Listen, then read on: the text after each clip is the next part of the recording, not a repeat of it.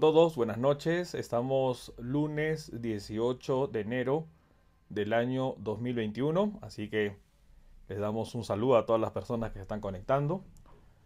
Hoy día vamos a un poco repasar los temas que hemos publicado, así que hemos publicado por si acaso dos videos.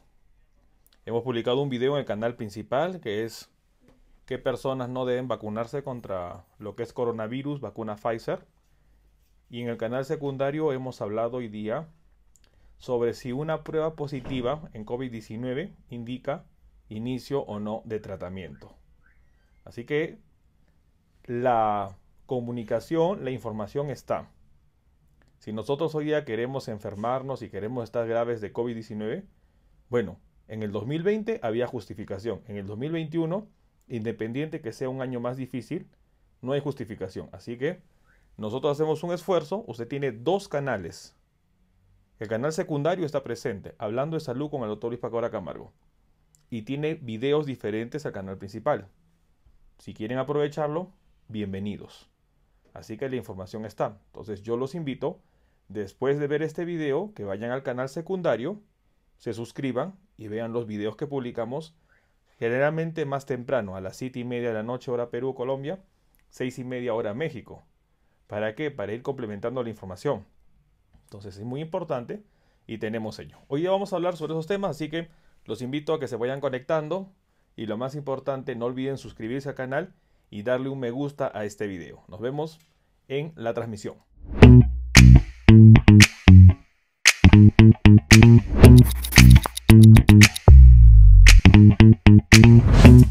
Muy bien, estamos acá presentes, estamos iniciando hoy día lunes 18 de enero. Hoy día es el aniversario de la capital de Perú, de Lima, así que un saludo a las personas que están en Lima, Perú. Hoy día es aniversario, así que es muy importante. Vamos a, a ver para que las personas nos entiendan. Acá está el chat en vivo como estamos de costumbre, habilitado, así que quiero que todos hagan una manito de hola para que vean que la comunidad es activo. Entonces, ahí están, por ejemplo, Sonia del Mar. A ver, todos una manito saludando para que todas las personas cuando vean esta repetición del video vean exactamente, vean que es una comunidad activa, que es una comunidad que está aprendiendo, que todos aprendemos. Yo también aprendo. Todas las preguntas que ustedes hacen, yo las aprendo porque es una manera de ir respondiendo las preguntas en base a los videos. Los temas de los videos salen en base a sus preguntas. Y es muy importante porque a veces uno cree que lo conoce todo y no es así. Siempre hay preguntas. Miren ustedes, a Janet Flores, a Miguel, a Lucy, un saludo, a Raquel Jacobo, a Robin, Marta, Gloria Ramos, Ramón Hernández, María Carrasco, Lucy, Física para Todos, un saludo. Nidia, muy bien. Isamar, Joel, un saludo. Desde México, Ariosto, Charlie, excelente. Todas las personas, Gilberto. Bueno, vamos reuniéndonos, vamos encontrándonos. Así que también vamos hablando a las personas que están en este momento en Facebook. Un saludo a Romina, un saludo a Lee Ran, un saludo a Carla Jacqueline Zúñiga, a Luzgarda, un saludo a lo que es Ada, un saludo a todos ellos. Bueno, ahí están todos conectados. Bueno, qué gusto que nos da. Somos 206 personas en este momento. No olviden darle un me gusta al video. Vamos a ver, vamos a tomar la lección, ¿cómo están? Somos 209 personas y 94 me gusta. No se olvide, dele un me gusta al video para que se vaya de esta manera recomendando. Nosotros hacemos un esfuerzo. Usted también haga un mínimo esfuerzo en el sentido de hacer que este video se vaya compartiendo. El video de ayer no sé ustedes, pero el de ayer estuvo muy bueno. Así que las personas que se lo perdieron el día de ayer, por favor revísenlo. El video de ayer estuvo bastante interesante, oxigenoterapia. Nos quedamos casi dos horas y media hablando y la verdad que fue bastante útil, bastante útil. Vamos a hacer preguntas a la comunidad. A ver, vamos a preguntar a la comunidad. La oxigenoterapia, el oxígeno, a partir de qué nivel de saturación se debe considerar. A ver qué dicen las personas. Miren, para que vean todas las personas que recién ven este canal, este video. Miren, vamos a ver. Charlie, 90. EPSAP, 90. Muy bien, entonces ya por debajo de 90, ¿qué se tiene que hacer? Menos de 90. Pensar en oxigenoterapia. A ver, dígame dos dispositivos importantes que brindan oxígeno. A ver, uno, ¿cuál es? A ver, ¿qué elementos nosotros podemos contar para que nos dé oxígeno? A ver, Laura dice 80, no, a menos de 90 ya que conseguir oxígeno. Abajo de 90, correcto. Muy bien, a ver, ¿cuáles son los dispositivos que nos brindan oxígeno? A ver qué dice la comunidad. La comunidad está entrenada. Nos responde muy bien. Sí, en Panamá dice menos de 93. Menos de 90, no se preocupe. Estudios internacionales. Ahí está, Gloria, el tanque y el generador de oxígeno. Excelente a Gloria Hernández. Gloria Ramos, tanque de oxígeno, correcto. Es la manera. Muy bien. Pregunta. ¿Todo paciente con un concentrador de oxígeno, cómo se llama el nivel que se expresa en lo que es litros por minuto? ¿Eso cómo se llama? ¿Cuál es la medida? Por ejemplo, cuando un carro va a 90 kilómetros por hora, sabemos que es la velocidad. ¿Cómo se llama a la medida que se expresa en volumen por tiempo? Flujo. Excelente. Flujo. Flujo. Se llama flujo. Entonces, cuando nosotros hablamos 5 litros por minuto, ya uno habla y le dice al doctor, doctor, mi familiar está a 5 litros por minuto. Tiene un flujo de oxígeno de 5 litros por minuto. Muy bien. Pregunta. El flujo que sale en el concentrador o en el tanque de oxígeno, si yo le doy 5 litros por minuto, ¿garantizo que le vaya, va a llegar 5 litros por minuto o necesito algo para ver ello? ¿Cómo se llama el intermediario entre la fuente de oxígeno y el paciente? ¿Cómo se llama el intermediario? ¿Qué es lo que necesito yo? Necesito un entre lo que es la parte, no, oxímetros para medir el oxígeno. ¿Cómo se llama? El intermediario el manómetro es para calcular si necesito el flujo, pero existe, hay dos tipos, alto flujo, bajo flujo, ¿se acuerdan? Eran los sistemas de oxigenación. El sistema, ¿se acuerdan el sistema? Había sistemas de alto flujo y de bajo flujo. ¿Cuál es la diferencia? El sistema de bajo flujo va a ser inconstante, no va a ser constante, porque va a depender del paciente. El sistema de alto flujo que va a pasar va a mantener constante. ¿Correcto? Y la última pregunta. ¿En qué porcentaje se encuentra el oxígeno en el aire? ¿Cuál es el porcentaje que se encuentra el oxígeno? Del aire que nosotros respiramos, ¿qué porcentaje es oxígeno? A ver, ¿quién sabe eso? Del aire que respiramos, ¿qué porcentaje? 21. ¿Quién lo dijo? Gilberto Carmona, 21%. ¿Y qué gas se encuentra más que el oxígeno en el aire? A ver, ¿quién sabe eso? ¿Qué gas se encuentra más en el aire, más que el oxígeno? Que casi ocupa un 78% del aire. El oxígeno ocupa 21%. El 78% ¿quién lo ocupa? A ver qué dice la comunidad. Mario Ramírez, nitrógeno. Muy bien. Muy bien. Sonia del Mar, nitrógeno. Excelente. Excelente. ¿Se dan cuenta? Entonces es muy importante. Vamos aprendiendo estos temas y vamos nosotros eh, viendo. Entonces, Lee también respondió en Facebook muy bien. Entonces, como ven, ustedes están aprendiendo, estamos viendo ello. Felicidades. Es nitrógeno, no hidrógeno, nitrógeno. ¿Correcto? Muy bien. Bueno, vamos a hacer como siempre nuestras eh, exposiciones y después vamos a responder las preguntas. No se preocupen. No se olviden, estamos 331 y no se olviden darle un me gusta. A ver, si, este, si usted a este canal le gusta este canal y, que, y quiere que sigamos haciendo esto, Demuéstrenlo y denle su me gusta en la parte inferior al video. A ver, vamos 159, 166.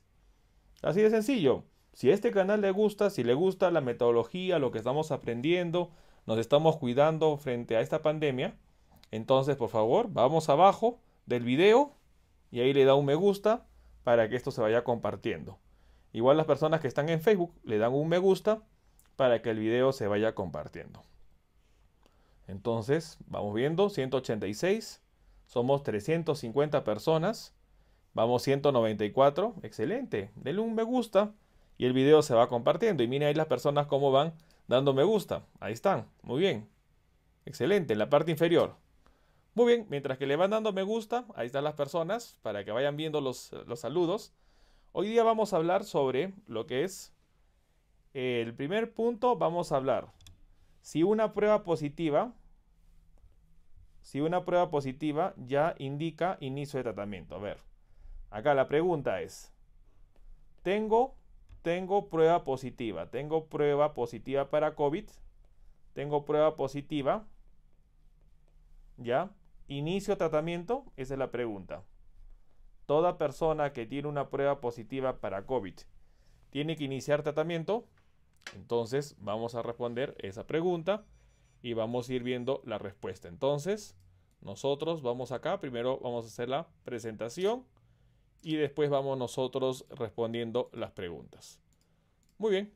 Entonces, tengo una prueba positiva, inicio tratamiento y yo les voy diciendo acá la respuesta. Vean el video. La respuesta es no. No. Ya, con esto yo voy a responder muchas preguntas de muchas personas. Por favor, es muy importante. La prueba positiva con el coronavirus no indica inicio de tratamiento. Vamos a hacer una pregunta a las personas. Las pruebas para confirmar el diagnóstico se clasifican en dos. A ver si ustedes se acuerdan. ¿Cuáles son las pruebas de diagnóstico? Tenemos dos. Dos tipos de pruebas. ¿Cómo son? A ver, ¿cuáles son las pruebas para hacer el diagnóstico de COVID-19? Tenemos dos tipos de pruebas. Unas pruebas que detectan al virus y unas pruebas que detectan indirectamente al virus. Y lo dijo Sara Díaz. Lo dijo Sara Díaz. Directa e indirecta. Excelente. Muy bien, un aplauso para Sara Díaz. Excelente. Entonces Sara Díaz lo dijo. Las pruebas para COVID-19 son directas e indirectas. Entonces, nosotros nos vamos acá y el diagnóstico de COVID-19, el tipo de prueba que se puede pedir va a ser pruebas directas y pruebas indirectas. Ok, dentro de las directas hay dos tipos. A ver qué dice la comunidad. ¿Cuáles son las pruebas directas que nosotros podemos tener en cuenta? A ver, directa. Amparo nos dice antígeno, anticuerpos e hisopado. Muy bien, muy bien. Pero solo las directas. ¿Cuáles son las directas? PCR y anticuerpos. No, está muy bien PCR. PCR y antígeno. Claudia Gamero. Excelente. Las directas son PCR y antígeno. Ojo, porque detectan al virus. PCR y antígeno tenemos PCR y antígeno. ¿Y quiénes representan las pruebas indirectas? A ver, pruebas indirectas. ¿Quiénes son las pruebas indirectas? ¿Quiénes representan las pruebas indirectas? Serológicas. Excelente. ¿Quién lo dijo? Lo dijo Bea López. Excelente. Serológicas. Y las serológicas son los anticuerpos. ¿Cuántos anticuerpos? Eh, bueno, ¿cuáles son los principales anticuerpos que nosotros vemos? Porque son cinco, pero ¿cuáles son los principales que analizamos en la, en la infección del coronavirus, ¿se acuerda? ¿Cuáles son? IgM, IgG, Alberto, Arturo, Chicago, Sonia del Mar. Muy bien. Sonia del Mar moleculares es la PCR por si acaso. Salud en línea, IgG, IgM, correcto. Entonces, esto es lo que tenemos. Y esto es lo que dice la comunidad. La comunidad lo dice, así que la comunidad está enterada. Así que coronavirus, asústate porque estamos hablando de personas que se cuidan. Entonces, nosotros nos cuidamos. Nosotros no hacemos fiestas COVID, nosotros no salimos, usamos mascarilla, nos lavamos la mano y nosotros, recomendación, nos vamos a vacunar. Y vamos a pasar esta pandemia. Esto, por favor, tiene que ser así. Vamos a pasar esta pandemia. Y vamos a pasarla. Durará probablemente todo este año, pero vamos a pasarlo juntos, así que no se preocupen. Muy bien, entonces lo han respondido ustedes muy bien. PCR, antígeno, las pruebas directas, y las indirectas son las serológicas. Otra característica, las directas a través de dónde se toma la muestra. A ver quién dice, las directas a través de dónde se toman las muestras. Vamos viendo qué dice la comunidad. Es una comunidad bastante activa. Así que YouTube, por favor, vaya viendo usted esta comunidad. Es una comunidad en medicina. Isopado, excelente, isopado. Excelente, hisopado. Muy bien, hisopado es con H, pero está muy bien. Hisopado. Excelente. Y las pruebas indirectas se hacen ¿dónde? En lo que es la parte de las indirectas, ¿en dónde se hacen? Las indirectas se hacen en sangre. Muy bien, Jorge y Silvia Navas. Muy bien, entonces. Ustedes lo dicen, ustedes saben y yo les creo. Entonces, muy bien. Entonces, las pruebas directas se hacen a través del hisopado y las pruebas indirectas a través de sangre. Correcto. Entonces, con esto nosotros tenemos ya los tipos de prueba. A nosotros nadie nos engaña. Entonces, vamos a ir viendo ahí.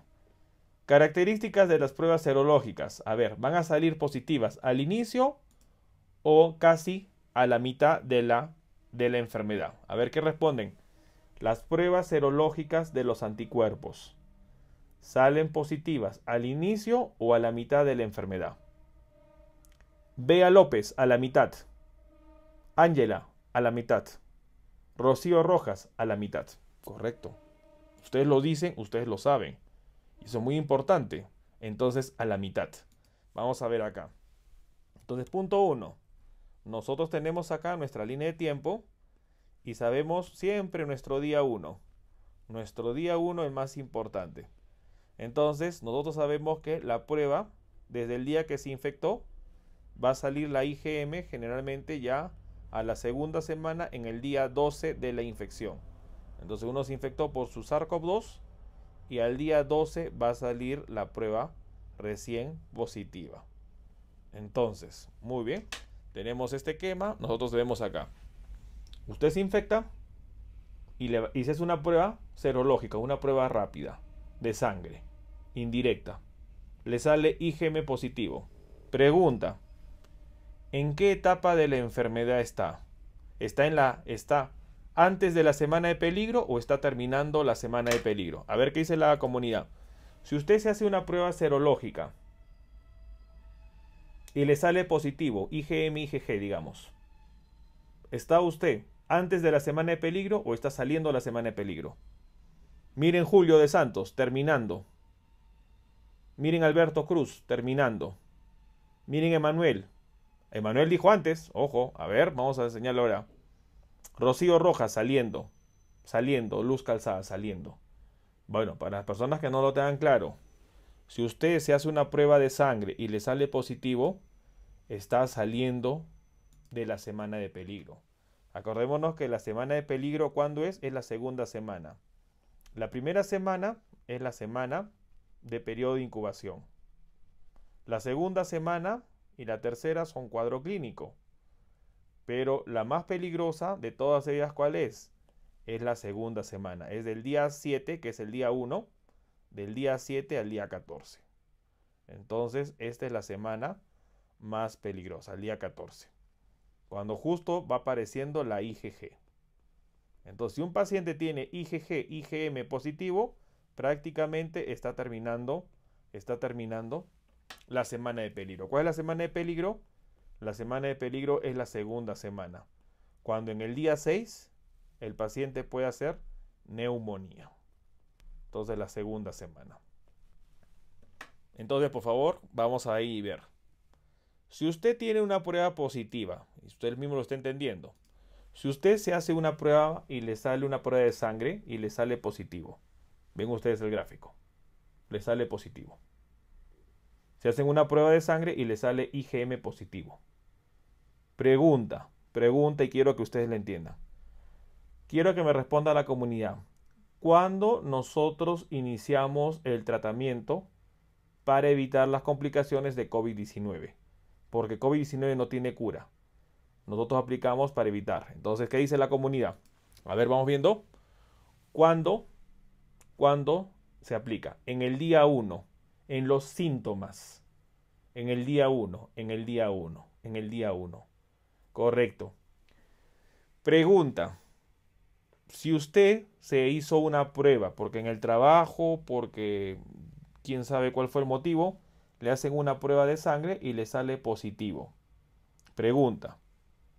Usted tendría que iniciar tratamiento entendiendo, entendiendo que el tratamiento que nosotros recomendamos en la enfermedad COVID-19 es para evitar la complicación de la neumonía.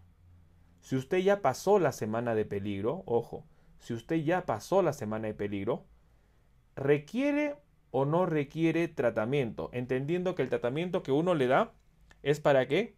Es para evitar o disminuir la neumonía. Entonces, a ver, ¿qué me responden ustedes? Estamos, estamos en este punto. Me sale acá la prueba positivo. Me sale la prueba positiva. Yo sé que al lado está el día 6, el día de peligro. Y me sale positiva y no tengo síntomas. ¿Requiero iniciar manejo? No. Miren lo que dice. No, Emanuel Moya. No, no, no, Julio. No. Es eso importante. Por eso la pregunta del tema de hoy día en el canal secundario fue, ¿una prueba positiva indica que debo iniciar tratamiento? Miren, y yo les digo, miren ustedes cómo responden. Y hay médicos, hay personal de salud, hay personal de laboratorio que le dice al paciente, eh, muy bien, eso lo que dice Indira es muy importante. Miren lo que dice Indira. No, pero hay que tener cuidado, claro que sí. No a pensar, uff, ya salí del peligro, me voy a la playa. Por favor, todavía tiene el virus. Lo que dice la cita Indira es muy correcto. No tiene que iniciar tratamiento, pero tiene que estar en cuidado. Obviamente, puede tener una neumonía tardía. Y no va a pensar, doctor, no recibe tratamiento y me dio una neumonía. Un momento, un ratito puede tener una neumonía tardía y hay que vigilar. Pero miren, miren lo que ustedes están respondiendo. Hay muchos médicos, hay mucho profesional de la salud, hay muchos tecnólogos de laboratorio que le sale al paciente positivo la IgG y la IgM y lo asustan al paciente. Le dicen, uy, no, tiene que iniciar manejo ahorita mismo, está en peligro, le va a dar una neumonía, se puede morir, todo ello. Y yo he tenido pacientes asustados entonces es, es importante nosotros entender este manejo. Si usted le hacen una, un resultado y le sale IgM positivo y más aún IgG positivo, usted ya pasó la semana de peligro. No requiere tratamiento, pero sí requiere cuidados. Entonces es muy importante. No nos desesperemos. Tranquilos. Veamos ello. Porque si usted ya pasó la semana de peligro y es peor, si no ha tenido síntomas, con mayor razón, felicidades. Pero si ha tenido síntomas en ese momento, entonces hay que tener en cuenta ello. Entonces es importante tener en cuenta este dato.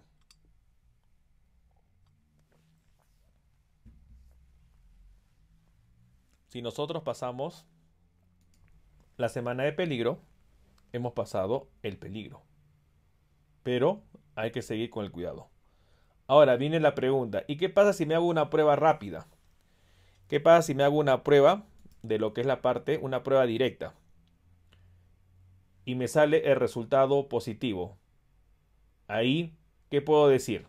Me hago una PCR y me sale un resultado positivo. Entonces tenemos acá, me hago una PCR y tengo un resultado positivo. Puedo hacer la misma dinámica con respecto a las pruebas indirectas.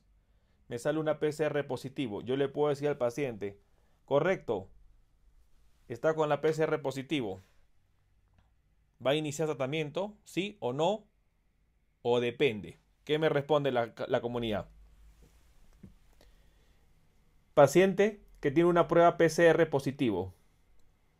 ¿Inicia tratamiento o depende? Dicen, debe tratar de encontrar el día 1. Depende. Excelente.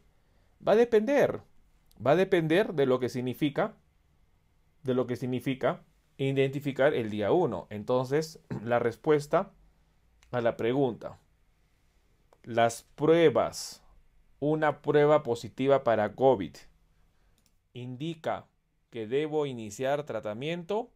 La respuesta es un, un rotundo no. No. No. Entonces es un rotundo no.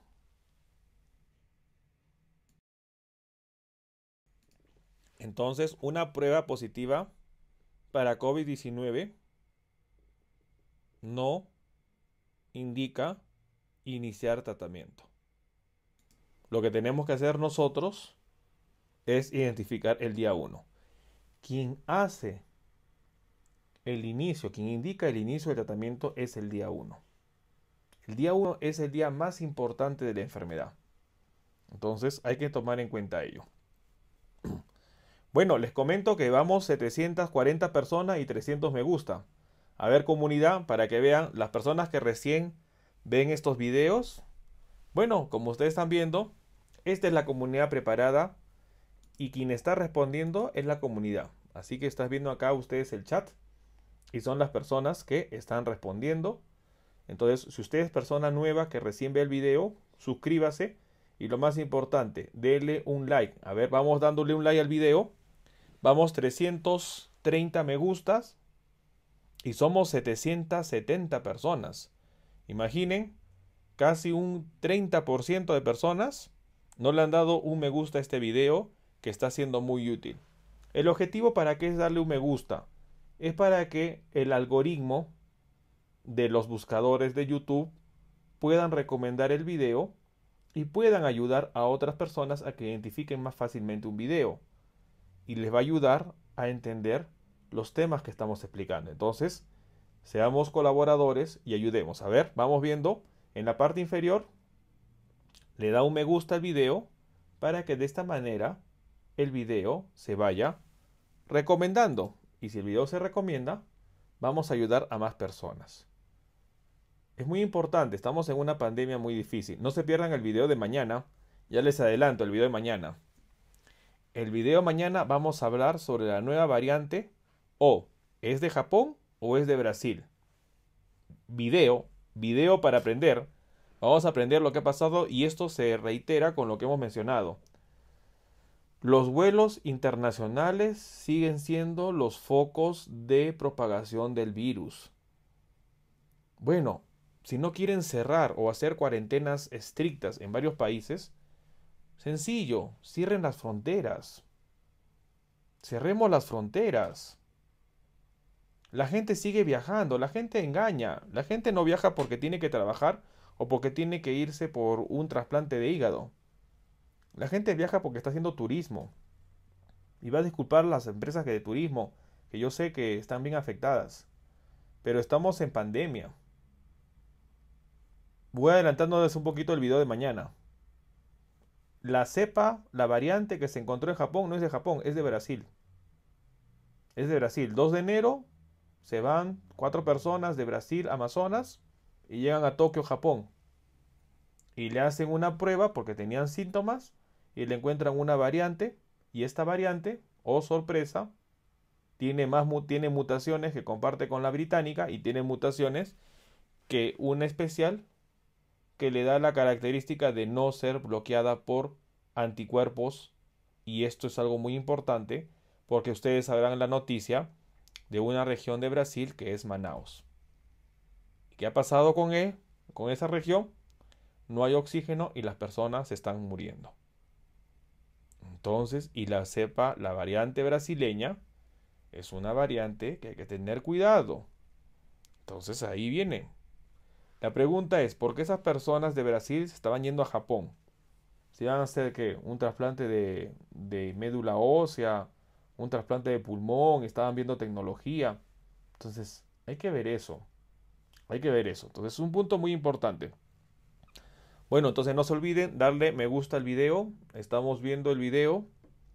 Vamos 842 personas. ¿Lo ven cómo se va recomendando el video? Y de esta manera nosotros vamos ayudando a que el video se vaya compartiendo. 452. Perfecto. Igual las personas que están en Facebook que no se van a escapar. No se olviden también darle un poco más. Darle me gusta al, al video en Facebook para que se vaya compartiendo. Muy bien. Segunda pregunta del video de hoy y vamos a responder las preguntas. Segundo video. Tenemos nosotros lo que es la parte qué personas no deben vacunarse de lo que es la vacuna contra el coronavirus por Pfizer. Hablamos de Pfizer. No hablamos de lo que es AstraZeneca, Sputnik, no hablamos de Coronavac, hablamos de Pfizer. Entonces, hoy día es la segunda, el segundo tema. El primer tema que creo que ya quedó bien claro. Una prueba positiva no indica inicio de tratamiento. El inicio de tratamiento lo indica la parte clínica. Segunda pregunta. Vamos para ahí. Entonces, ¿quiénes no deben vacunarse? Entonces, ¿quiénes, no deben vacunarse? Vacunarse, hablamos con la vacuna de Pfizer.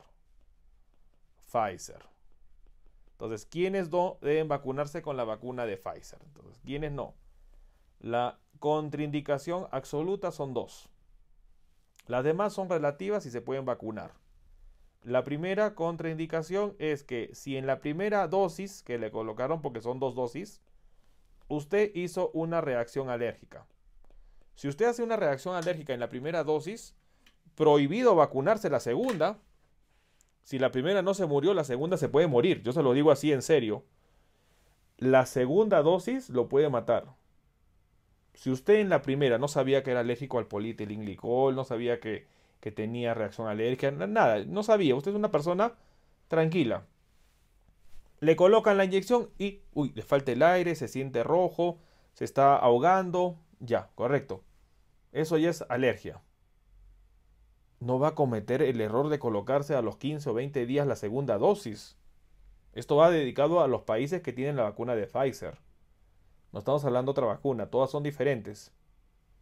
Si usted hizo alergia a la primera dosis, la segunda, prohibido colocársela, se muere, prohibido colocársela. Ya hay que tener cuidado. Lo digo así, no es que se va a morir, pero no lo haga, porque quizás podría pasar ello.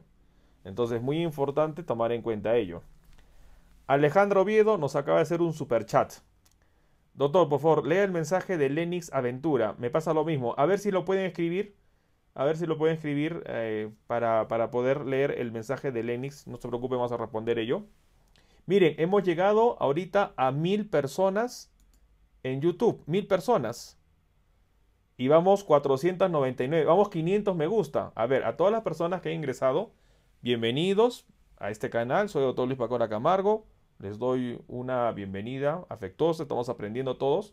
Acá tenemos en esta comunidad, como ustedes ven, tenemos una comunidad activa.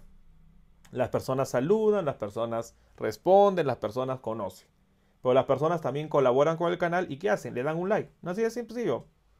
Entonces, por favor, todas las personas que han ingresado, bienvenidos en primer lugar, pero no olviden, ¿por qué hacen eso? Porque comparten la información, porque eso ayuda a que otras personas puedan tener información de estos videos y puedan aprender. Toda la semana esta comunidad está aprendiendo y está viendo las respuestas. Así que los invitamos a que le den un me gusta al video para que de esta manera se vaya compartiendo. No lo olviden.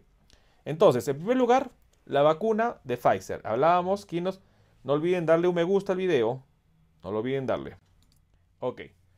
Primero, no deben vacunarse los que la primera dosis, los que la primera dosis hicieron una reacción alérgica. Y la segunda, y la segunda, ¿quiénes no deben vacunarse? No deben vacunarse con la vacuna de Pfizer los que son alérgicos al polietilenglicol, PEG. Polietilenglicol. Polietilenglicol. Si usted es una persona que ha hecho alergia a lo que es un laxante y va a ver que hay el polietilenglicol 3500, entonces no puede vacunarse. Si usted es alérgico a algunos maquillajes o alérgica a algunos maquillajes y ve que el contenido tiene polietilenglicol, no se vacune. Si usted le han colocado una inyección y ve dentro del componente que tiene PEG, no se vacune. Entonces ya se lo estamos diciendo desde ahora. Los demás se pueden vacunar, obviamente con algunas indicaciones. Si usted tiene alergia a alimentos y tiene alergia a otros fármacos, vacúnese, pero avise. Porque la alergia o la anafilaxia sucede en minutos. En 2-3 minutos usted ya hace reacción alérgica. Entonces, ¿para qué? Para que tenga una observación por lo menos de 30 minutos o una hora. Le vacunan, la observan una hora, no pasa nada, se va a su casa, todos felices, no pasó nada. Pero si no avisa, ¿qué va a pasar? Le lo vacunan, la vacuna, se va a su casa, en el camino que está yendo a su transporte, hace una reacción se desmaya y si no la atienden a tiempo se puede hasta morir. Entonces hay que tener cuidado. Entonces, todas las demás son, son contraindicaciones relativas. Alergia a medicamentos, animales, a frutas, a, lo que es la parte de polen, a fármacos, eh, enfermedades autoinmunitarias, cáncer, diabetes, asma. Todas esas personas no está contraindicado. Pueden vacunarse, pero tienen que vigilar si son alérgicos a otros fármacos que se lo mencionen a el profesional de la salud que está vacunando. Entonces, las contraindicaciones absolutas son dos. Primera dosis, primera dosis que he hecho alergia y la segunda contraindicación es alergia al polietilenglicol. Muy bien, entonces es muy importante. Invitamos a las personas, vamos a responder las preguntas ahora sí. En primer lugar, no olviden tenemos varios invitados, los saludamos. No olviden suscribirse al canal. Los invitamos a que se suscriban al canal. Y el segundo punto, a que le den un me gusta al video. Estamos nosotros dando un tiempo ayudando a las personas, así que también ayude a que este video se vaya compartiendo y vaya ayudando a más personas. Si usted es nuevo en el canal, revise los videos y va a entender todo lo que estamos trabajando. Así que es muy importante. Muy bien, vamos a ir respondiendo a las preguntas, vamos a ir viendo los temas, así que saludamos a las personas a ver si, si nos ayuda, qué, qué es lo que preguntó lo que es Lenix Aventura. Hizo una pregunta, mm, bueno, a ver, yo me gustaría ayudar para ver cuál es la pregunta. Si alguien sabe la pregunta, para poder verlo. Si no, vamos a ir respondiendo a las preguntas y saludando a todas las personas. Y vamos a buscar su pregunta y cuando la encontremos la, la, responderemos, ¿correcto?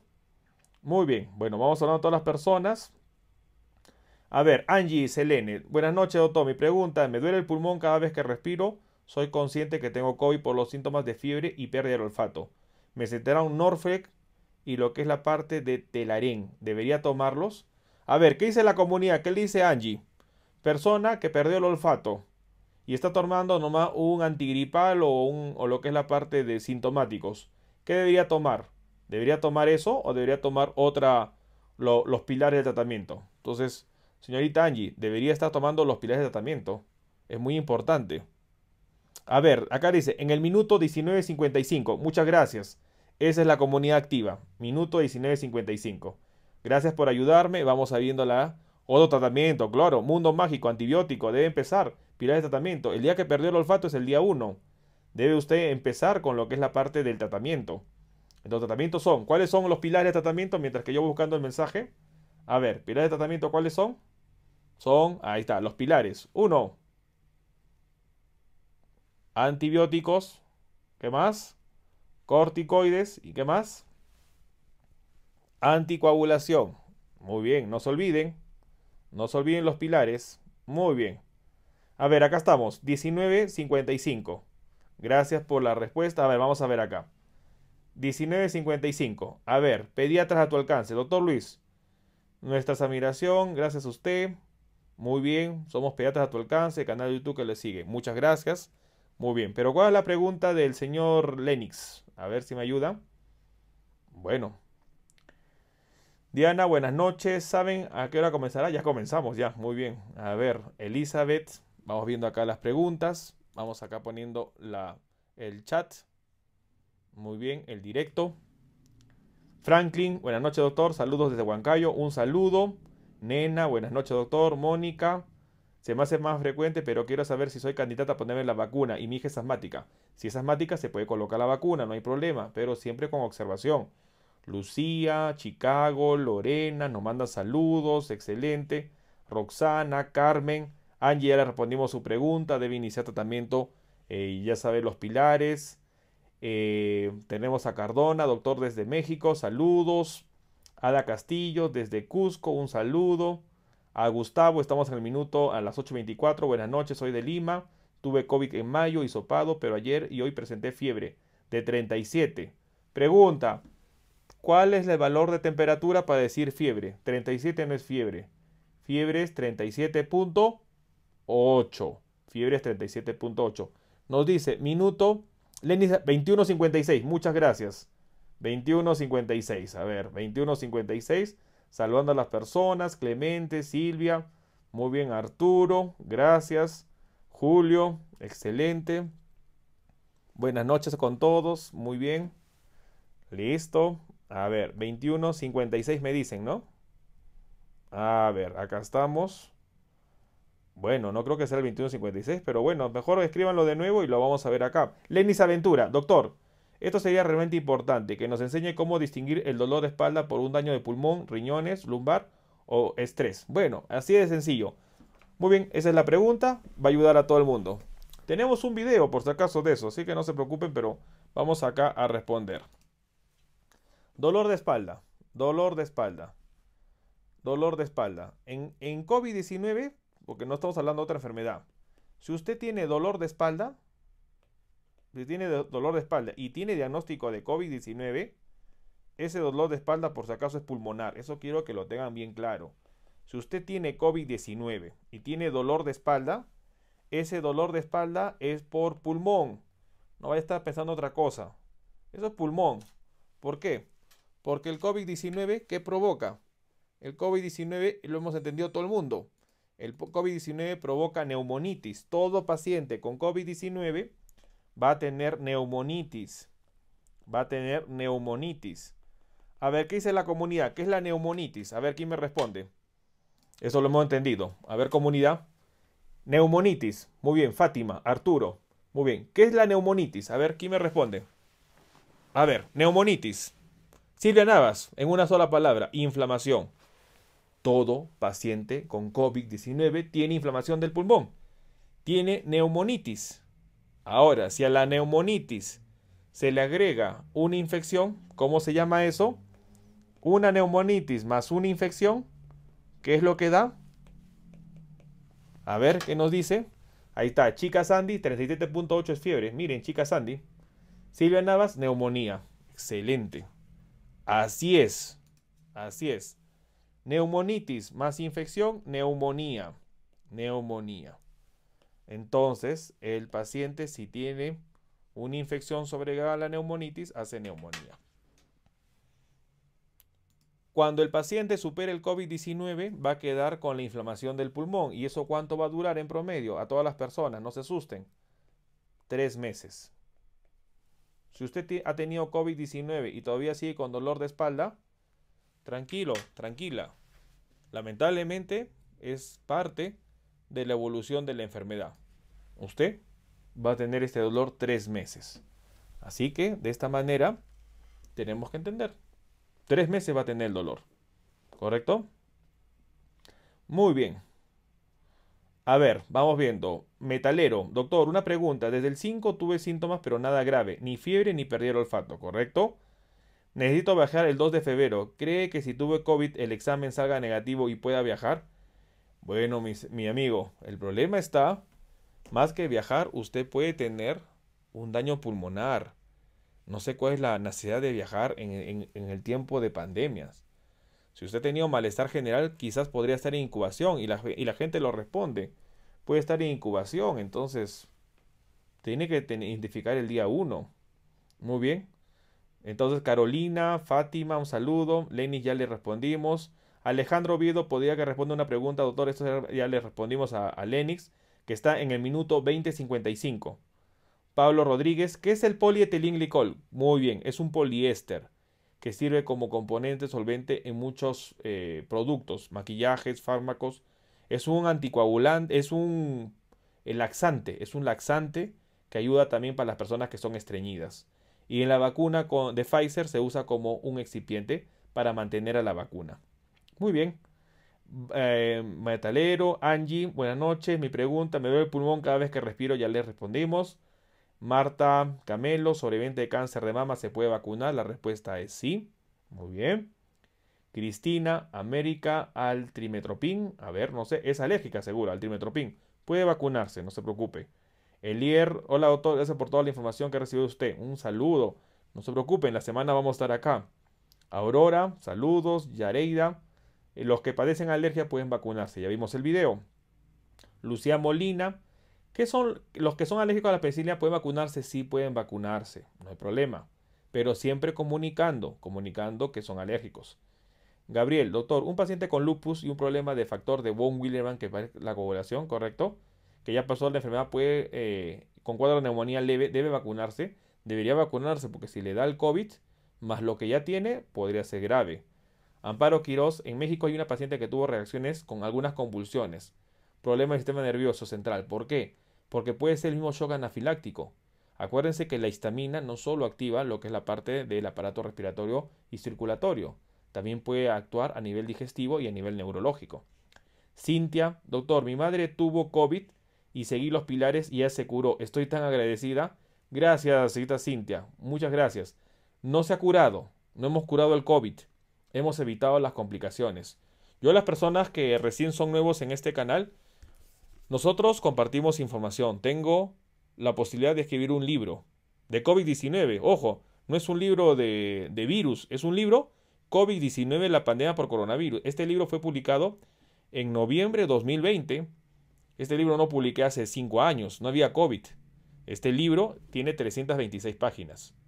Y nosotros compartimos toda la información que está acá. Y las personas lo comentan. Nosotros damos siempre información basada en lo que es la parte de revisiones científicas. Lamentablemente, hay muchos profesionales que no conocen la historia natural de la enfermedad y por eso se cometen tantos errores, sobre todo en muchos países. No olviden darle un me gusta al video, que lo que hace es que se vaya compartiendo. Vamos ya a 697 me gustas. Tres más, llegamos a 700. 699. Gracias por compartir porque eso ayuda a las personas.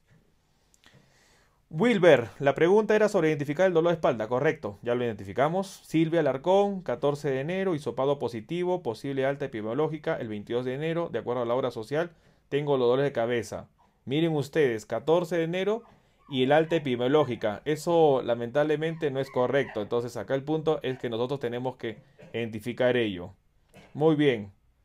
Luego, a ver, vamos viendo a lo que es Jackson Jackson. Doctor, tuve COVID y gracias a Dios salí, pero después de un mes me quedó el dolor de cabeza y me duele el lado derecho. Es post-COVID, eso es post-COVID.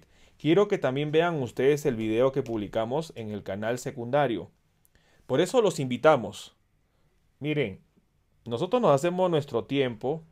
No es fácil publicar un video. Hay muchas personas que pueden decir, el doctor se para y habla cualquier cosa. Yo no hablo cualquier cosa.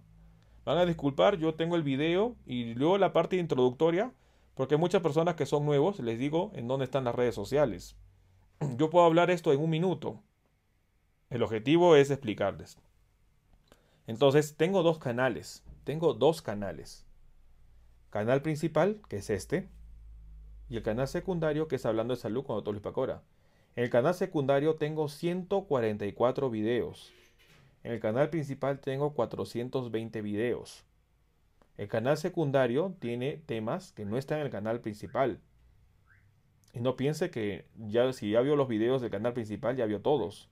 Vea los videos del canal secundario. Ahí tengo el video de dolor de cabeza que lo voy a explicar ahorita, no se preocupen. Vamos a ver esto. Miren ustedes.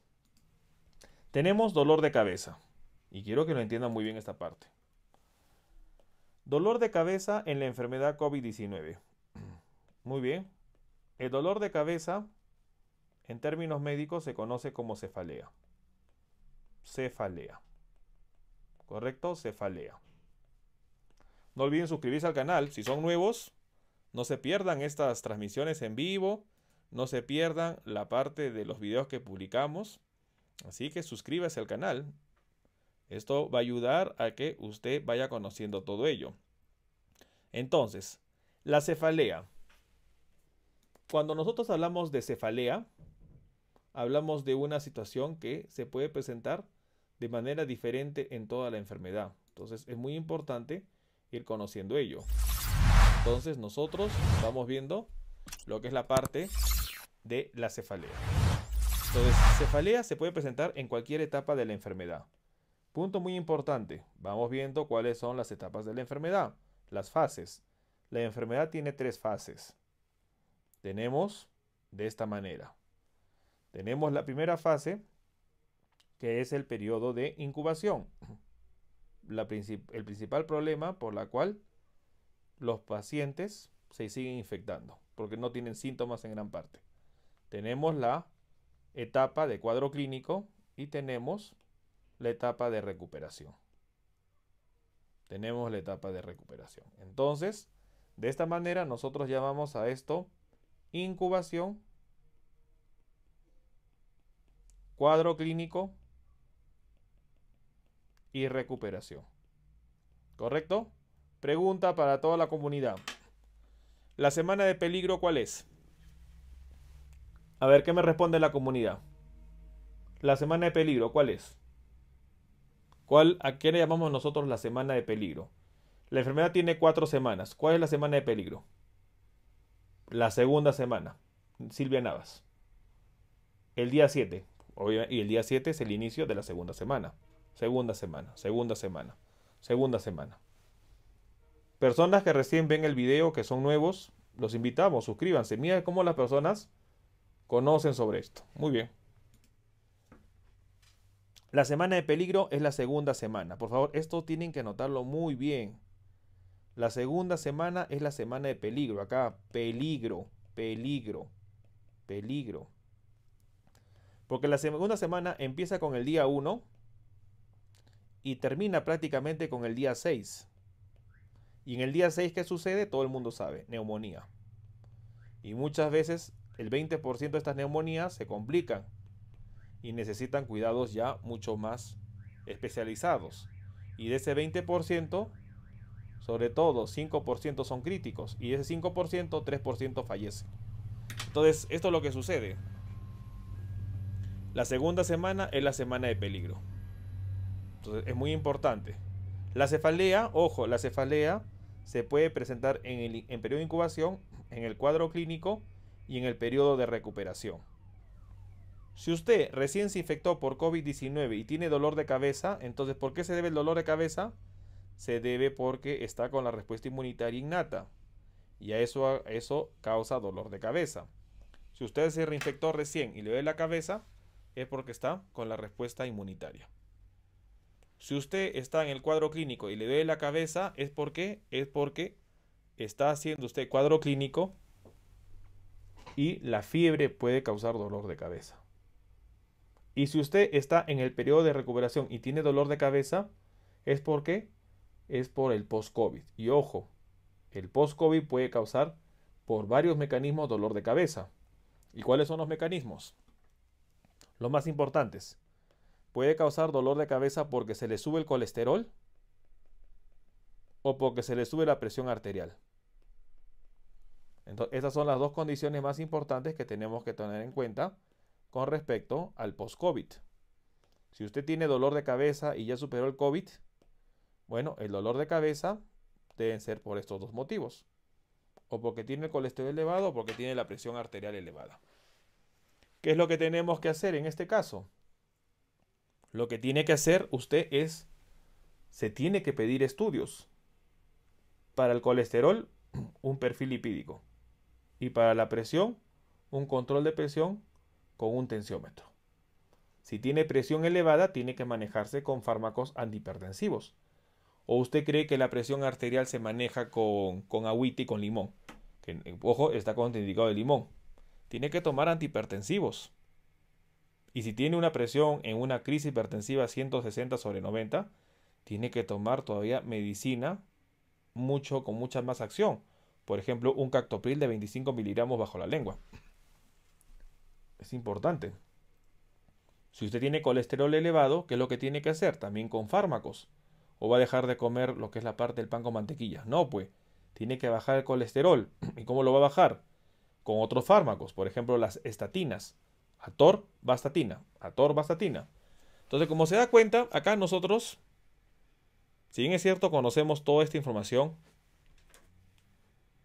la, hemos compartido este libro. Si usted desea el libro, ya sabe que está en Amazon me da gusto porque en la última semana hay más de 40 personas que han comprado el libro. Y a mí es un placer, ¿por qué? Porque están informándose, así que bienvenido sea yo. Entonces es importante conocer esta información.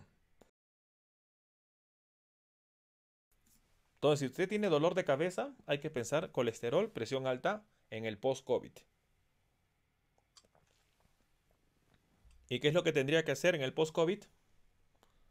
Lo que tendría que hacer en el post-COVID es hacer estudios.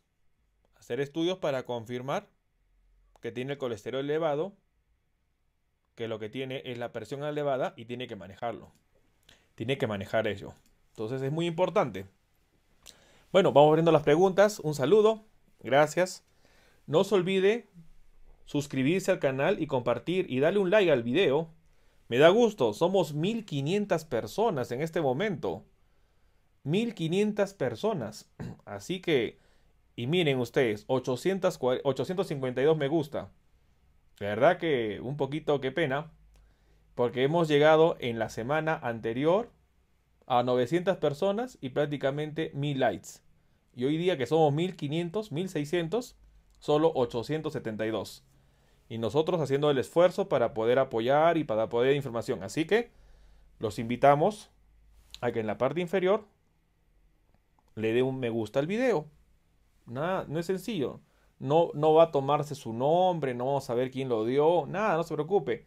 Es anónimo. Lo único que pasa es que de esta manera YouTube va a agarrar y va a indicar, doctor, usted ha tenido un video que se está compartiendo y que ayuda a las personas. Y eso nos va a motivar para qué? Para que nosotros al día siguiente digamos, perfecto, vamos a seguir haciendo esas transmisiones porque está ayudando a las personas. Así de sencillo. Y de paso, el video se comparte en más personas y ayuda a que más personas entiendan ello. 964. Nos falta 36 y llegamos a 1000 me gusta. 972. ¿Lo ven? Qué fácil es apoyar al canal. Les doy las gracias porque están apoyando al canal y están apoyando a otras personas. De verdad que agradecido por ello. 982. Excelente. Muy bien. Excelente. Dice iniciar los pilares. Muy bien. Eduardo Hernández. ¿Cómo saber si uno es alérgico al polietilenglicol? Si no lo sabe es porque y en la primera dosis de la vacuna le colocan es porque ya sabe que es alérgico. La única manera, si usted no tiene hasta el momento alguna alergia, eh, ¿cómo se llama? Registrada. Bueno, la única manera es cuando le coloquen la vacuna. Probablemente no haga un shock anafiláctico, pero sí puede hacer usted una reacción alérgica leve, pero ya va a saber que es alérgico. Muy bien. Magda, doctor, me gustaría que haga el tema secuelas en el post-COVID. Uy, señorita Magda, usted no conoce el canal. En el canal no solo he hecho un video sobre secuelas post-COVID, he hecho cinco videos y he hecho una transmisión en vivo que se llama post-COVID. Dos transmisiones en vivo. Bueno, y siempre hablamos, hoy día hemos hablado de cefalea en lo que es post-COVID. Así que el canal está ahí, los invitamos a que vayan viendo ustedes. Para excelente, llegamos a los 1039 me gusta en YouTube. ¿Lo ven? Muy bien, vamos respondiendo mensajes. Adán, Doctor, buenas noches. Llevo 12 días con congestión nasal, voy en semana 4 desde los síntomas. ¿Es normal? Bueno, está fuera de peligro, son 4 semanas. Es normal porque es parte del post-COVID. Yareli. Una compañera empezó con dolor de espalda el 13 de enero y el 14-15 resfriado. Hoy su resultado es positivo. ¿Qué es eso? A ver, ¿qué dice la comunidad? Dolor de espalda y resfriado. ¿Qué es lo que tiene el paciente? Todo el mundo va a decir. A ver, dolor de espalda y resfriado. ¿Qué tiene? Miren lo que dice la, la comunidad. La comunidad sabe. Va a ser incubación, Silvia Navas. ¿Qué es lo que tiene que hacer la paciente o la persona? Lo que tiene que hacer es esperar el día 1. Así es. Muy bien. Excelente. Lorena, doctor, si somos pacientes asintomáticos, ¿en qué momento hacerme el tratamiento? A ver, pregunta. Cuando un paciente pasa el periodo de incubación, hay tres condiciones que pueden pasar. A ver, paso el periodo de incubación y hay tres situaciones. ¿Cuáles son? A ver, ¿qué dice la comunidad? Paso periodo de incubación y pueden pasar tres condiciones. La comunidad va a responder. A ver, muy bien, ya pues. Paso periodo de incubación y tengo tres condiciones. Uno, que sea ¿Asintomático o sintomático? A ver, vamos. Ustedes saben. Paso el periodo de incubación y pueden pasar tres situaciones que hay que entender y es muy importante explicar a las personas. Correcto. Ahí nos dice asintomáticos, moderados y graves. No. Muy bien, Silvia Navas. Cuando uno pasa el periodo de incubación puede tener tres condiciones. Asintomático, sintomático cuadro típico y sintomático cuadro atípico. Por favor, por favor, tengamos claro ello. Muy bien, ahí la gente está respondiendo, pero tiene que tenerlo claro. A ver, vamos acá a explicarlo. Cuando un paciente se infecta de coronavirus, ¿correcto? Se infecta del coronavirus, entra al periodo de incubación. Entra al periodo de incubación, que generalmente se presenta como un resfrío.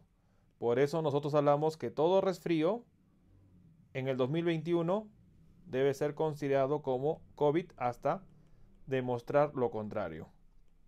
Después del periodo de incubación, el paciente ingresa y pueden haber acá tres situaciones. Uno, que tenga un cuadro típico. A ver, vamos a poner acá el chat para que las personas nos vayan diciendo. A ver, el cuadro típico. ¿Cuáles son los síntomas del cuadro típico? ¿Qué dice la comunidad? Cuadro típico. A ver, cuadro típico. Muy bien. Magali nos dice asintomático, atípico y típico. Cuadro típico. ¿Cuáles son los síntomas? Fernando, fiebre, pérdida del olfato. Excelente, excelente. Fiebre, pérdida del olfato. Muy bien, pérdida del gusto. Muy bien. ¿Y qué más? Y falta uno. Diarrea, lo dijo César Serrano. Él es miembro del canal, ojo. Está con la insignia. Diarrea. Muy bien, cuadro atípico, la segunda condición. En el cuadro atípico, ¿qué puede tener el paciente? ¿Cuáles son los síntomas de cuadro atípico? A ver qué dice la gente, la comunidad.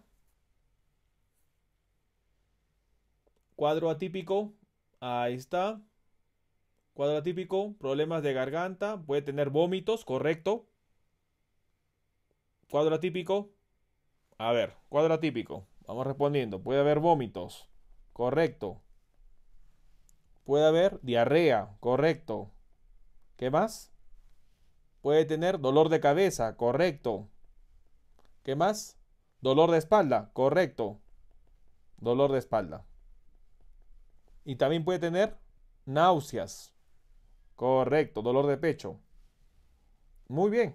Eso responde la comunidad. ¿Y cuál es la tercera condición? Que sea asintomático. Si usted pasó el periodo de incubación y no tiene síntomas, no requiere tratamiento. El paciente asintomático prácticamente no, se va, no va a tener mayor complicación. El paciente asintomático va a estar de esa manera. Entonces tenemos tres condiciones.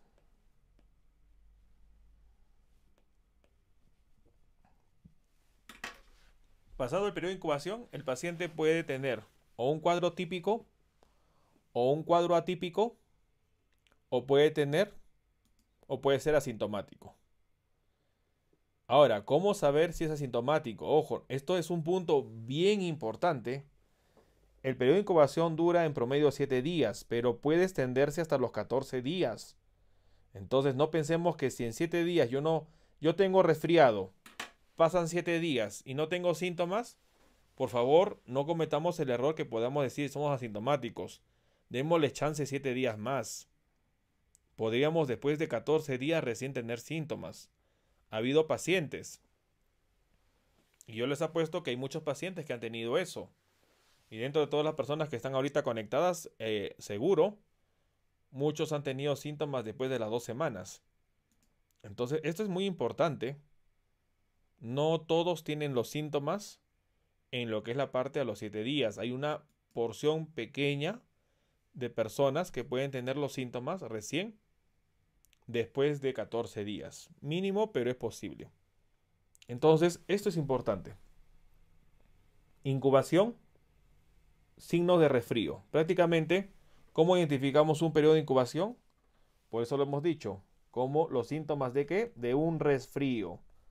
Si usted tiene resfrío, hemos mencionado que en el año 2021 todo resfrío debe ser considerado COVID-19 hasta demostrar lo contrario. Porque si nosotros no, no, hacemos esto, cometemos el error de que al paciente le vamos a dar un manejo leve, un manejo inadecuado, lo vamos a hacer descansar solo dos días y cuando salga va a salir con todo el virus contagiando a cuanta persona se encuentre en el camino. Es por eso muy importante que nosotros tenemos que entender que el resfrío debe ser considerado COVID-19 hasta demostrar lo contrario. Entonces, es importante ver ello. ¿Correcto? Muy bien, vamos respondiendo los mensajes de la comunidad. La comunidad está presente, es muy importante. Nosotros estamos acá presentes indicando toda la información para entender, para poder conocer todo ello. Entonces, vamos viendo acá. Estamos acá con la comunidad. Muy bien. Nos van diciendo, ahí van los mensajes. Roxano, ir al médico, a ver qué habrá pasado, si me ayudan con los mensajes. Blanca Cruz, me ponen la vacuna. ¿Cuáles son los efectos? Bueno, si es la de Pfizer, sobre todo puede ser reacción alérgica. Tranquila, hay que estar viendo ello nomás. Angie, ¿cuáles son las contraindicaciones de la vacuna china? Bueno, la vacuna china, recordemos que usa virus atenuados. Entonces, más que contraindicaciones, porque son virus atenuados, lo que va a tener son efectos secundarios. Dolor en la inyección, puede tener fiebre, puede tener malestar general. No tiene una contraindicación real como lo que serían las vacunas sintéticas como la de Pfizer que tiene polietilenglicol. ¿Correcto? Muy bien. Vamos viendo lo que es la parte de Adán Hernández. Doctor, buenas noches. Llevo 12 días de congestión nasal. Voy en la semana 4. Ya le respondimos el mensaje. Lorena Flores, doctor. Somos pacientes asintomáticos. ¿Cómo sé en qué momento hacer un tratamiento? Ya hemos mencionado. Asintomáticos no requieren tratamiento. Doctor, muy bien, nos dice, ¿cómo me puedo hacer una prueba de alergia al polietilenglicol? No existe una prueba de alergia para ello. Al menos que vaya viendo con un alergiólogo que pueda tener el compuesto en una solución y lo pueda hacer la prueba para ello. Sería interesante, sería interesante porque el polietilenglicol tiene bastante utilidad y los alergiólogos, que son los médicos que ven alergias, tienen los compuestos, eh, tienen un kit de compuestos y van haciendo las pruebas. Pero en esta situación, si usted tiene mucha duda, mejor hágalo. Muy bien, Fátima respondió neumonitis. Muy bien, responden muy bien los mensajes. Excelente. Muy bien, han respondido todos los mensajes. A ver, Alejandra. Hola, doctor, tengo bradicardia. Bueno, para las personas que no saben, bradicardia es lo contrario a taquicardia. Taquicardia es cuando el corazón late muy rápido. Y bradicardia cuando late lento.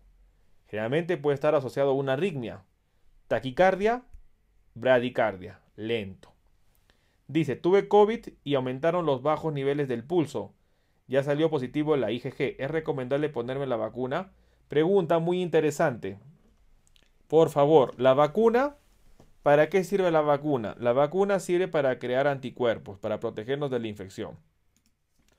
Un paciente que tiene COVID-19, ojo, un paciente que ha tenido COVID-19 en más del 90%, 90% desarrolló anticuerpos. Anticuerpos. Ojo, hay un 10% que no desarrolla anticuerpos. Y estos anticuerpos son la IgG. La IgG es el anticuerpo. desarrollan anticuerpos. Las vacunas, ¿para qué sirven? Las vacunas sirven para generar anticuerpos. Ok, entonces si usted ya tiene anticuerpos, lo primero que, o si tuvo COVID, lo primero que tenemos que confirmar es cuál es el nivel de anticuerpos que tiene y darle la prioridad de la vacuna a los que no han sido infectados. Ya después uno se podrá vacunar. Recordemos, acá viene una pregunta. ¿Cuál es el nivel de anticuerpos que produce la infección natural y las vacunas? Y esto es variable. Hay enfermedades que causan unos niveles de anticuerpos bien altos por ejemplo, el sarampión, las paperas. Esos crean lo que es la parte de anticuerpos altos. Damos un saludo a Zuli Zavala, que acaba de hacerse miembro, como ustedes verán. Ahí está Zuli, se acaba de ser miembro bronce. Bienvenida a la comunidad, a todos los que quieran ser miembros. En la parte inferior está habilitado el botón unirse y tendrán beneficios en la comunidad. Muy bien. Entonces, los anticuerpos son producidos o por la infección o por las vacunas. En muchos casos, en muchos casos, la, la propia infección causa anticuerpos bien, bien, en una concentración bastante adecuada. En algunos casos, y sobre todo la mayoría, las vacunas producen más anticuerpos.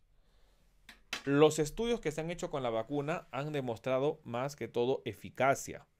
Eficacia para generar anticuerpos. No han visto todavía cuánto tiempo durarán. Recordemos que el coronavirus no solo es proteína S, el coronavirus tiene otras proteínas y tiene una concentración muchas veces más baja que las mismas vacunas. Es por eso que las vacunas pueden provocar más anticuerpos.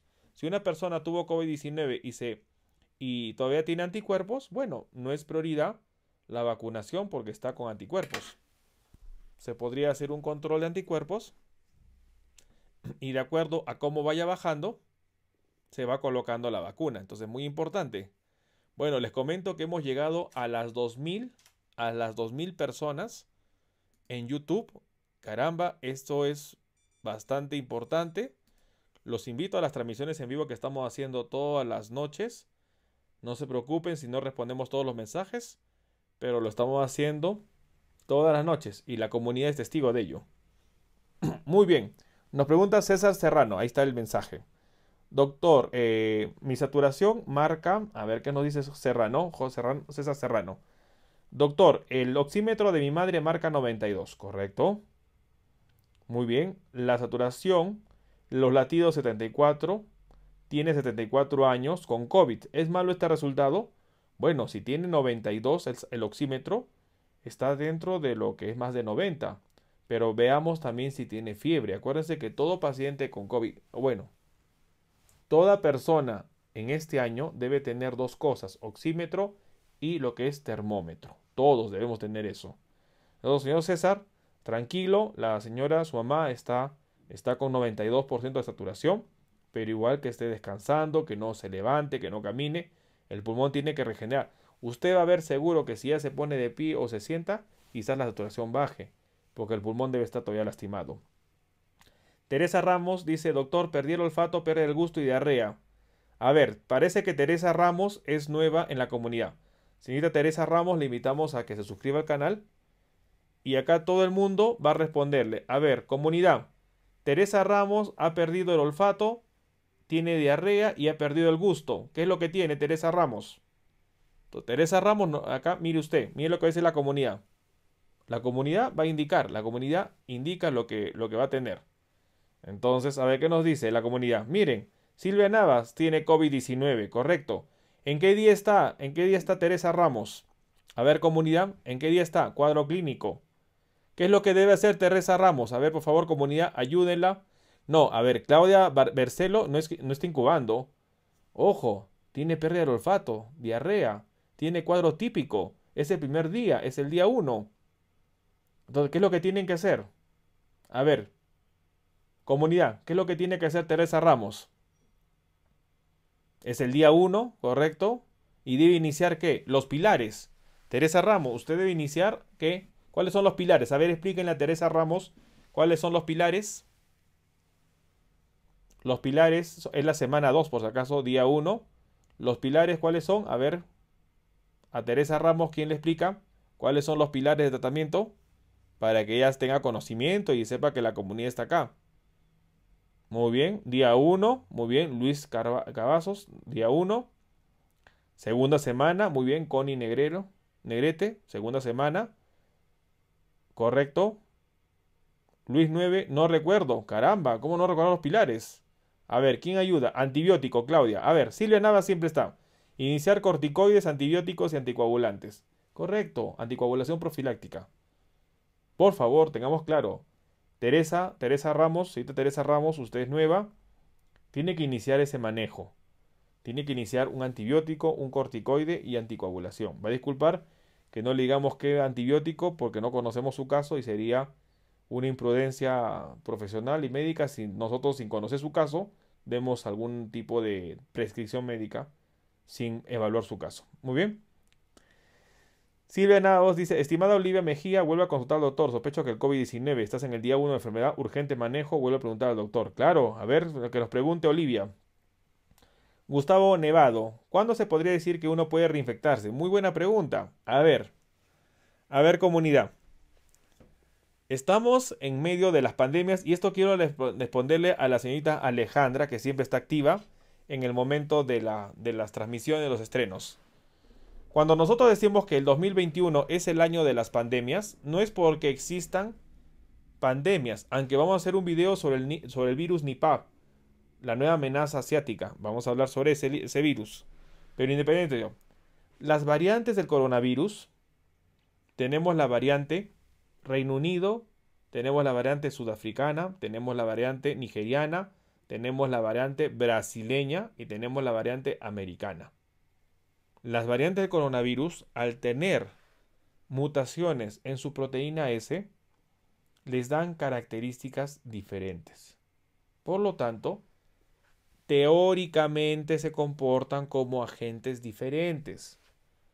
Es por eso que nosotros, en lo particular les digo, no podemos decir pandemia, ya decimos pandemias. Porque la pregunta dice, ¿quién se puede reinfectar? Todo el mundo ahora se puede reinfectar.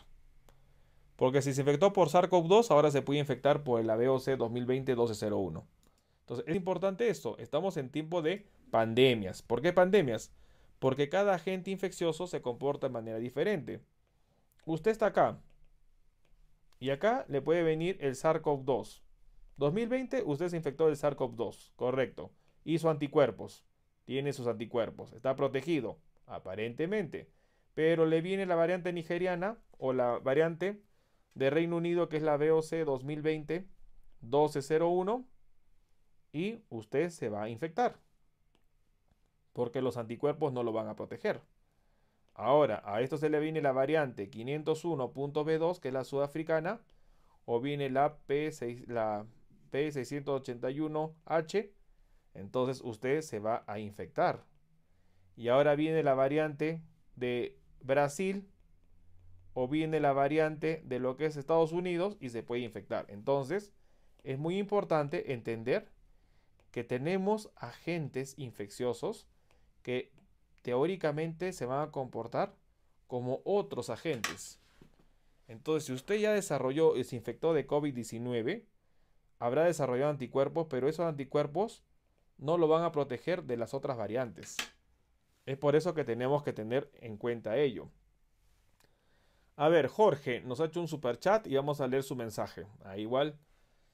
Eh, que también los superchats son más vistosos. Miren ustedes los superchats, son bien vistosos. Así que si usted quiere un superchat, igual también está. De paso, colabora con el canal, no hay problema.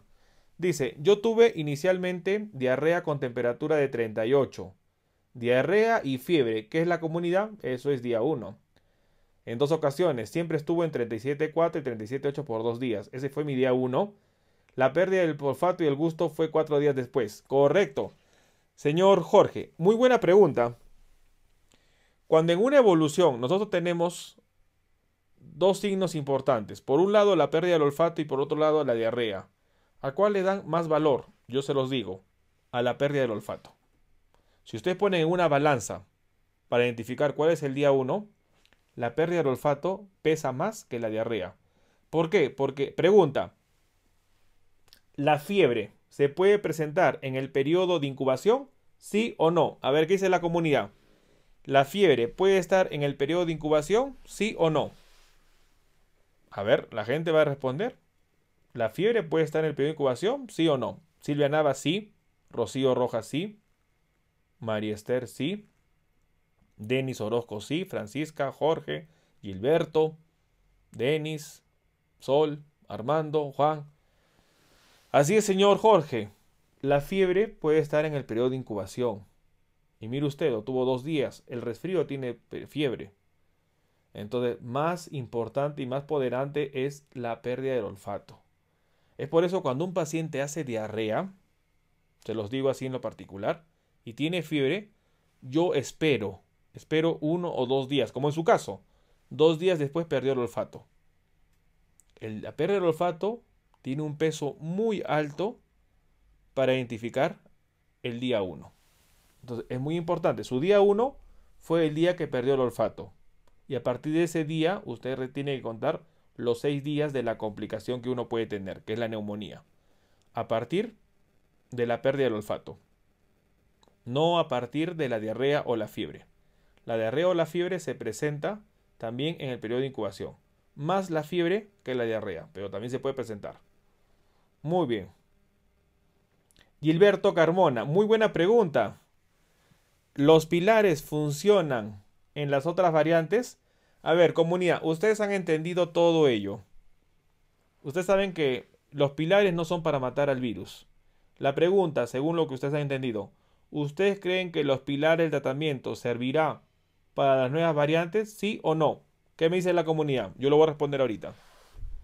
Silvia Navas dice sí. Joel dice sí. Denise dice sí. Adam dice sí. La comunidad va respondiendo. Joel, Nubia, Silvia, sí, sí. Isabel Cabrera, sí. Claro que sí. ¿Saben por qué va a responder los pilares? Porque los pilares no atacan al virus. Los pilares lo que hacen es evitar, es evitar que el paciente se complique, que la neumonitis termine en neumonía. Eso es lo que hacen los pilares. Los pilares lo que buscan es evitar que el paciente se complica. Entonces, por favor, toda la comunidad, todas las personas que estamos acá, más de 2.153 personas en YouTube y en Facebook estamos 80. Así que saludos a todas las personas que están en Facebook. No se olviden que estén, como se llama? Suscribiéndose y compartiendo la página. Isabel, Luzgarda, muy bien, Carlos Silva, correcto. Que respondieron sí. Los pilares sí responden, sí responden. Por favor, nosotros no estamos hablando de vacunas. No estamos hablando de lo que es la parte de rendicivir. Nosotros estamos hablando de lo que va a responder. Y lo que responde es el tratamiento. ¿Por qué? Porque son la base para evitar las complicaciones del paciente. Entonces, sí va a responder y van a hacer ahí caso. Entonces es muy importante ver ello. Nos pregunta Óscar Astudillo. Nos dice, ¿por qué médicos, enfermeras bien protegidos se infectan? ¿Puede comentar si el virus puede entrar por los ojos, oídos, piel, orejas? Correcto, muy buena pregunta. Hicimos un video sobre ello. Entonces los comparto y véanlo. El virus ingresa por los ojos el virus ingresa por los ojos. Entonces tienen que estar protegidos también. Publicamos un video sobre ello. No solo es usar mascarilla. Hay que usar protector facial. Entra por los ojos. Por los oídos no se ha estudiado, no hay, pero también hay una vía entre el oído y la parte respiratoria. Existe lo que es la trompa de Eustaquio conexión oído, lo que es orofaringe. Entonces, pero para pasar ello tendría que pasar por el tímpano. Ese es un problema, porque el virus tendría que atravesar el tímpano, entrar al oído medio y del oído medio llegar. El oído se divide en tres partes, externo, medio e interno. Y la comunicación del oído con la parte del orofaringe o la vía respiratoria está en el oído medio y para llegar al oído medio tiene que pasar el tímpano. Más difícil. Al menos que tenga un paciente ha tenido una otitis, está inflamado el oído y por ahí puede ingresar. Eso es otra cosa. Pero por los ojos ingresa. Entonces, tiene que, ver ello. Entonces, tiene que ver. A ver, nos esta pregunta. Doctor, ¿podría hacernos el favor de decirnos quiénes no deben vacunarse? Sí, lo explicamos al comienzo. No deben vacunarse en la vacuna de Pfizer los que a la primera dosis hicieron alergia y los que son alérgicos al polietilenglicol. ¿Correcto? Muy bien. Gabriel Galicia, doctor, llevo 17 días desde que iniciaron los síntomas del COVID. 17 días. Correcto. Durante todo el tiempo he oxigenado 83 y 93. 87 y 93. Generalmente está arriba de 90, pero me asusta si baja de 90 a 87 veces. Bueno, señor Gabriel, usted tiene neumonía. Ha tenido una neumonía. Si usted nota que su saturación baja menos de 90, póngase oxígeno, 1 o 2 litros por minuto, una semana. Y esté en reposo, tranquilo. Si nos dice que hasta 17 días después de los síntomas, ya pasó la parte terrible, la parte fea, pero el pulmón se ha quedado lastimado y dañado. Así que, si no tiene oxígeno y satura 90, esté en reposo. Manténgase boca abajo, tranquilo, una semana, estricto reposo y el pulmón se va a ir regenerando. Todo paciente que ha tenido COVID tiene que alimentarse bien. Suplemento nutricional. Si no es diabético, Ensure. Pulmocare o lo que es la parte de PBM. Si es diabético, Glucerna. Y no acá, acá no estoy yo con sponsor, nada. Pero por lo menos son suplementos que van a garantizar el nivel de requerimientos que usted necesite. Entonces, muy importante.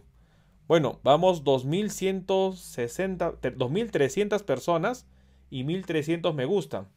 No se olvide darle un me gusta al video. Y qué bonito sería que ahorita las 2000 personas se suscriban al canal. A ver, los invitamos. Invitamos a que se suscriban las personas que no se han suscrito al canal. A que puedan ver el canal. Ojo, nosotros compartimos todos los días información. Tengo un libro publicado. Este libro está en Amazon disponible. Tengo un libro sobre cáncer. Tengo un libro sobre COVID-19. Soy médico. A las personas que no me conocen. Porque veo que son 2.300 personas y obviamente son más personas de las que nosotros normalmente estamos. Las personas nuevas, bienvenidos. Mi nombre es Dr. Luis Pacora, soy médico doctor en medicina, especialista en cirugía oncológica, por si acaso. No soy neumólogo, soy investigador, soy autor de dos libros. No soy, por si acaso, la parte de un aficionado a la medicina. Tengo dos libros publicados, están acá, por si acaso. Tengo un libro publicado sobre COVID-19.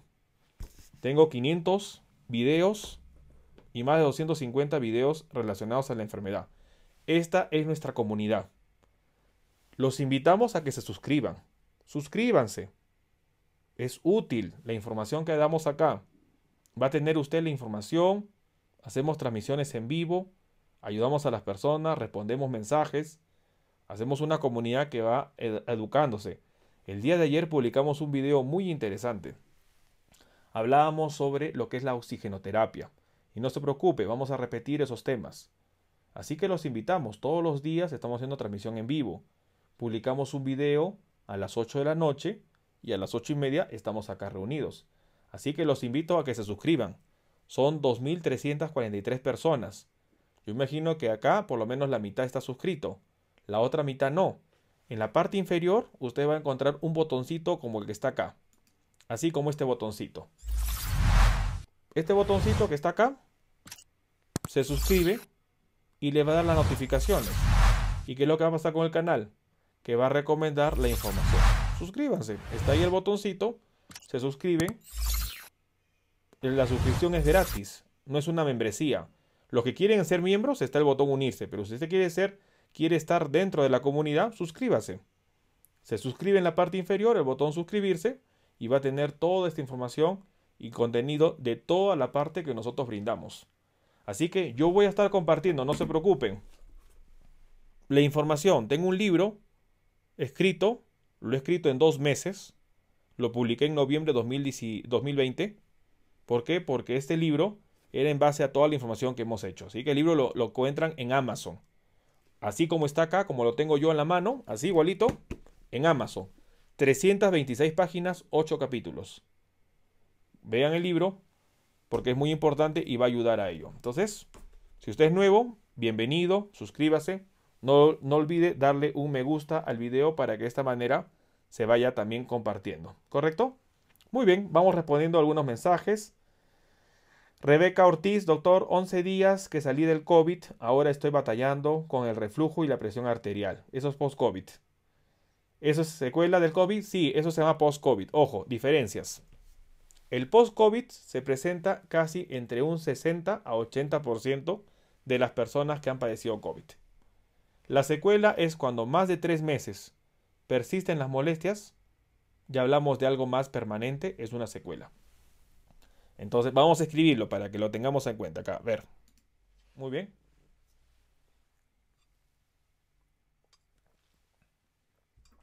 Tenemos lo siguiente nosotros. De las, personas, de las personas que padecen COVID-19, esos son datos eh, de mi serie. En mi serie tenemos 80% que ha padecido lo que son va a tener también pánico, miedo, pánico, ansiedad. Son síntomas psiquiátricos, psicológicos. El paciente va a tener también dolor de pecho, diferente al dolor de espalda. Va a tener manos calientes, pies fríos. Manos calientes, pies fríos. Entonces, si usted es un paciente que ha tenido COVID y tiene todo esto, no se preocupe, es post-COVID. Y la pregunta es, ¿por qué tiene todo esto? Todo esto lo tiene por la respuesta inmunitaria. Todo esto es por la respuesta inmunitaria. El COVID estimula la respuesta inmunitaria y esto es lo que pasa. La respuesta inmunitaria persistente y aparte el daño que ha causado el virus va a responder todo esto del síndrome post-COVID. Entonces, es por eso que acá vienen las indicaciones. En la respuesta inmunitaria, ojo, hay que, si esto está estimulado, por eso se sugiere no, no consumir alimentos que puedan estimular la respuesta inmunitaria. Pescado, mariscos, cerdo, puerco, chancho, cítricos. No. Es recomendación. Doctor, pero en Estados Unidos nos indica vitamina C. Doctor, en Colombia nos están dando ello. Doctor, nos recomienda. Bueno, yo les digo la base científica de lo que sucede con la respuesta inmunitaria. El síndrome post-COVID tiene una razón en base a lo que significa lo que es en este punto la respuesta inmunitaria y el daño que ha originado el virus. Entonces, a eso se debe. es muy importante entender de que algunos alimentos pueden provocar de que esta reacción sea más, se pueda agravar. Entonces, por eso nosotros recomendamos no comer pescado, mariscos, cerdo ni cítricos. Entonces, muy importante tomar en cuenta estas recomendaciones, ¿correcto? Muy bien, va la gente, vamos acá respondiendo. A ver, Denis Orozco, doctor, ¿se tiene algún estimado del tiempo de inmunidad que darían las vacunas Pfizer, Moderna, rusas, chinas? No, no hay tiempo. Recuerden que la vacuna empezó a colocarse en diciembre. Los estudios de fase 1, 2 y 3 empezaron a hacerse recién a mediados de julio. Recién va a pasar un año. No tenemos respuesta de ello. Eso se tendrá. Lo único que han estudiado es eficacia para protección, pero ahora se tiene que ver tiempo. Ricardo Z, ¿qué son los pilares? Los pilares son los manejos que se dan para evitar la complicación del COVID-19 que es la neumonía. Antibiótico, corticoides y anticoagulación. Muy bien. Jimena Ruiz, me acabo de suscribir a los dos canales. Me encanta todo lo que he escuchado. Gracias, Cita Jimena. Un, placer. Estamos acá para poder informar y ayudar. Si tenemos dos libros publicados, tenemos mucha información por compartir. Así que no lo dude. Vamos a compartir. Lorena, doctor, ¿la prueba ELISA sirve para el diagnóstico de COVID? La, ojo, la prueba ELISA es un método de diagnóstico es un método que significa lo que es una reacción enzimática. Las pruebas serológicas pueden tener prueba ELISA. O sea, como ustedes hacen un diagnóstico, ELISA no solo significa estudiar al, al VIH. ELISA se puede estudiar cualquier agente patógeno. ELISA significa lo que es el ensayo en base a reacción enzimática. Y sirve para ver los anticuerpos. Entonces se puede hacer un ELISA para lo que es COVID-19. ¿Correcto? Andrés, doctor, llevo tres días con dolor de garganta desesperante. ¿Qué puede ser? Puede ser incubación. Carlos Ruiz, ¿una persona se puede contagiar al mismo tiempo de varias variantes? Muy interesante la pregunta y la respuesta es sí. Se llama coinfección. Al igual que una persona se puede infectar COVID-19 más influenza a la vez, una persona se puede infectar de una, dos, tres variantes. Imagínense cómo sería ello. Yo no quiero imaginarme. Muy difícil. Ya con una variante, tener dos en el cuerpo, terrible. Víctor Acuña.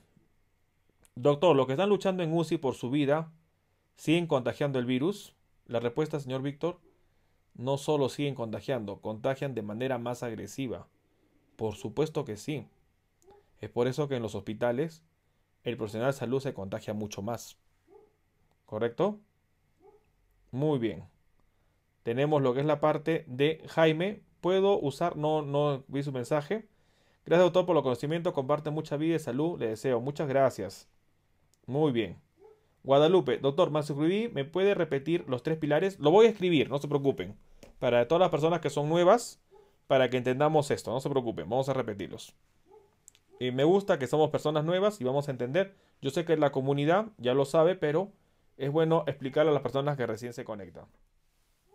Vamos a explicar esto. No se preocupen, lo explicamos de nuevo y cuantas veces sea necesario.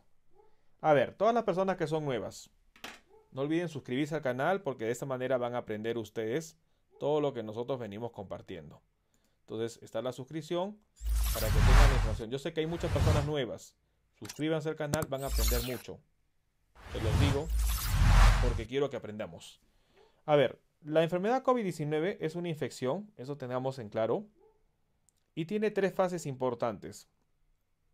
Cuando uno se infecta del virus, va a tener un periodo inicial que se llama periodo de incubación. Este periodo de incubación, por favor, todos tenemos que entenderlo bien claro. Se puede presentar con síntomas o sin síntomas. Cuando el periodo de incubación tiene síntomas, se presenta como lo que es un resfriado, un resfrío. Y cuando no tiene síntomas, obviamente no tiene síntomas, asintomático. Entonces, todo resfrío, si hoy día tenemos acá muchas personas que están conectadas y han tenido síntomas de resfrío, bueno, puede ser COVID. ¿Qué es lo que tienen que hacer? Periodo de incubación tienen que aislarse, por favor. Aíslense. Están contagiando el virus. En el periodo de incubación, si usted tiene un resfrío, tiene que aislarse. Tiene que aislarse. Usted se aísla. Luego de aislarse, va a identificar lo que va a ser la segunda fase del cuadro clínico, que es el día 1. ¿Qué es el día 1? Es el inicio de la segunda fase de la enfermedad. ¿Y cuál es la segunda fase de la enfermedad? Es el cuadro clínico. Es el cuadro clínico. Entonces, el cuadro clínico. Nos va preguntando Fernando Iván. Doctor, ¿la saturación de oxígeno puede verse afectada en pacientes con hipertensión? En caso de que se afecte, ¿en qué rango se encuentra la saturación? No, la hipertensión no tiene nada que ver con la saturación. Si tienen ustedes un paciente con hipertensión y tiene saturación baja, no tiene nada que ver. No va a pensar que los que están hipertensos tienen saturación más baja, no. el, único efecto que tiene que ver con la saturación va a ser la altura del nivel del mar. Y se lo voy a explicar ahorita. Voy a hacer un paréntesis para explicar ello. No se preocupen. Acá vamos a responder. Entonces, ¿cuál es el punto? Miren ustedes. Vamos a entender acá. La única, la única situación que va a hacer variar la saturación de oxígeno, ojo, eso va a ser también un motivo de un video, la saturación de oxígeno, lo único que se va, a alterar es por el nivel del mar, es por altura, es por la altura, pero no la altura de cuánto mido, sino la altura expresada en metros sobre el nivel del mar. ¿Por qué? Vamos a ver acá. Nosotros tenemos acá la costa, acá está el mar, y tenemos la parte de las montañas, la sierra. ¿Correcto? Entonces, ¿qué es lo que sucede? Si yo tengo una persona que se encuentra, por ejemplo, a unos 3.500 metros sobre el nivel del mar, va a ser diferente a una persona que se encuentra a 0 metros sobre el nivel del mar. ¿Por qué? Porque la persona que está a 0 metros sobre el nivel del mar tiene una presión atmosférica que es mayor y la persona que está a la altura tiene una presión atmosférica que es menor. La presión atmosférica tiene que ver con la presión de oxígeno. Por eso la persona que está en la costa va a tener mucha más facilidad de tener oxígeno que la persona que está en la sierra. Entonces la persona que está en la sierra hace una compensación que se llama poliglobulia. Poliglobulia. ¿Qué significa poliglobulia? Que empieza a producir más glóbulos rojos. ¿Y para qué produce más glóbulos rojos? Porque como habremos entendido en el colegio, las células que transportan el oxígeno en la sangre se llaman glóbulos rojos o eritrocitos. Entonces los eritrocitos o glóbulos rojos tienen una proteína que se llama hemoglobina y esa proteína va a transportar oxígeno. Entonces la saturación va a depender de la presión atmosférica. Es el único factor, no de la presión arterial. Una persona hipertensa no va a tener nada que ver con la saturación de oxígeno. Bueno, yo creo que este es un punto que muy pocos sabíamos. ¿Se dan cuenta que aprendemos un montón? Así que bienvenidos al canal. Yo no solo hablo de COVID, no solo hablo de lo que es... Imagínense, para hablar de cáncer tengo para hablar 150 tipos de cáncer. Así que yo les digo una cosa, aprovechen, aprovechen que estoy acá, que me gusta enseñar. Y aprovechen, yo les explico todo lo que ustedes quieran, encantado. Sean pacientes, yo sé que hay muchas preguntas, muchas cosas. Yo lo estoy haciendo, tengan un poquito de paciencia a veces en las preguntas. Yo quiero responder todas las preguntas, pero también imagínense, todos los días estamos acá ayudando. Entonces ustedes suscríbanse al canal, compartan la información. Pero aprendemos. Yo creo que muy pocos sabíamos esto de la saturación. Es por eso que las personas que están en altura también hay que ver sobre el nivel de la saturación. Y lo vamos a explicar en un video, pero quería un poco adelantar acá la información para que nosotros tengamos conocimiento y podamos entender sobre esta situación, que es muy importante. Entonces, es por eso que sí se afecta. Bueno, volviendo al tema que estamos explicando de los pilares, que hay muchas personas que no entienden ello. Estamos acá. Entonces, ¿qué pasa? Cuando inicia el día 1, por favor, todo el mundo, es muy importante. El día 1 es lo más importante. Por esta falta de información se mueren muchas personas y eso da pena. Porque hay muchos países que solo están manejando eh, analgésicos, antipiréticos, solo están dando vitamina C, vitamina D. Entonces es un problema. Mirna Salas, bienvenida al nivel bronce de, las, de lo que es la parte de las membresías. Un saludo. Muy bien, entonces. Bueno, saludando acá, es muy importante ver ello. El día 1, por eso mueren muchas personas. ¿Por qué? Porque cuando el paciente inicia el cuadro clínico, el pulmón ya se ve afectado. Y para que llegue a la neumonía van a pasar prácticamente, van a pasar seis días. Y el paciente va a llegar acá a la neumonía en el día 6. Y muchos pacientes con neumonía se van a morir. Y ahora sobre todo, ¿por qué? Porque no hay hospitales. Por eso el día de ayer compartimos un video muy interesante, oxigenación en casa. Vean el video, es, es buenísimo, buenísimo. El día de ayer es buenísimo, yo les digo y gracias a todas las personas que estuvieron presentes. Porque ayer aprendimos sobre lo que es la parte de la oxigenación en casa. Y ya voy adelantando a todas las personas que están ahorita, que son muy nuevos, hay muchos. Por favor, así, escúchenme bien, escúchenme, voy a ponerlo acá en directo. Voy a dejar un poquito la parte del chat para que nos concentremos. Por favor, cómprense un oxímetro y un termómetro. Se los digo así.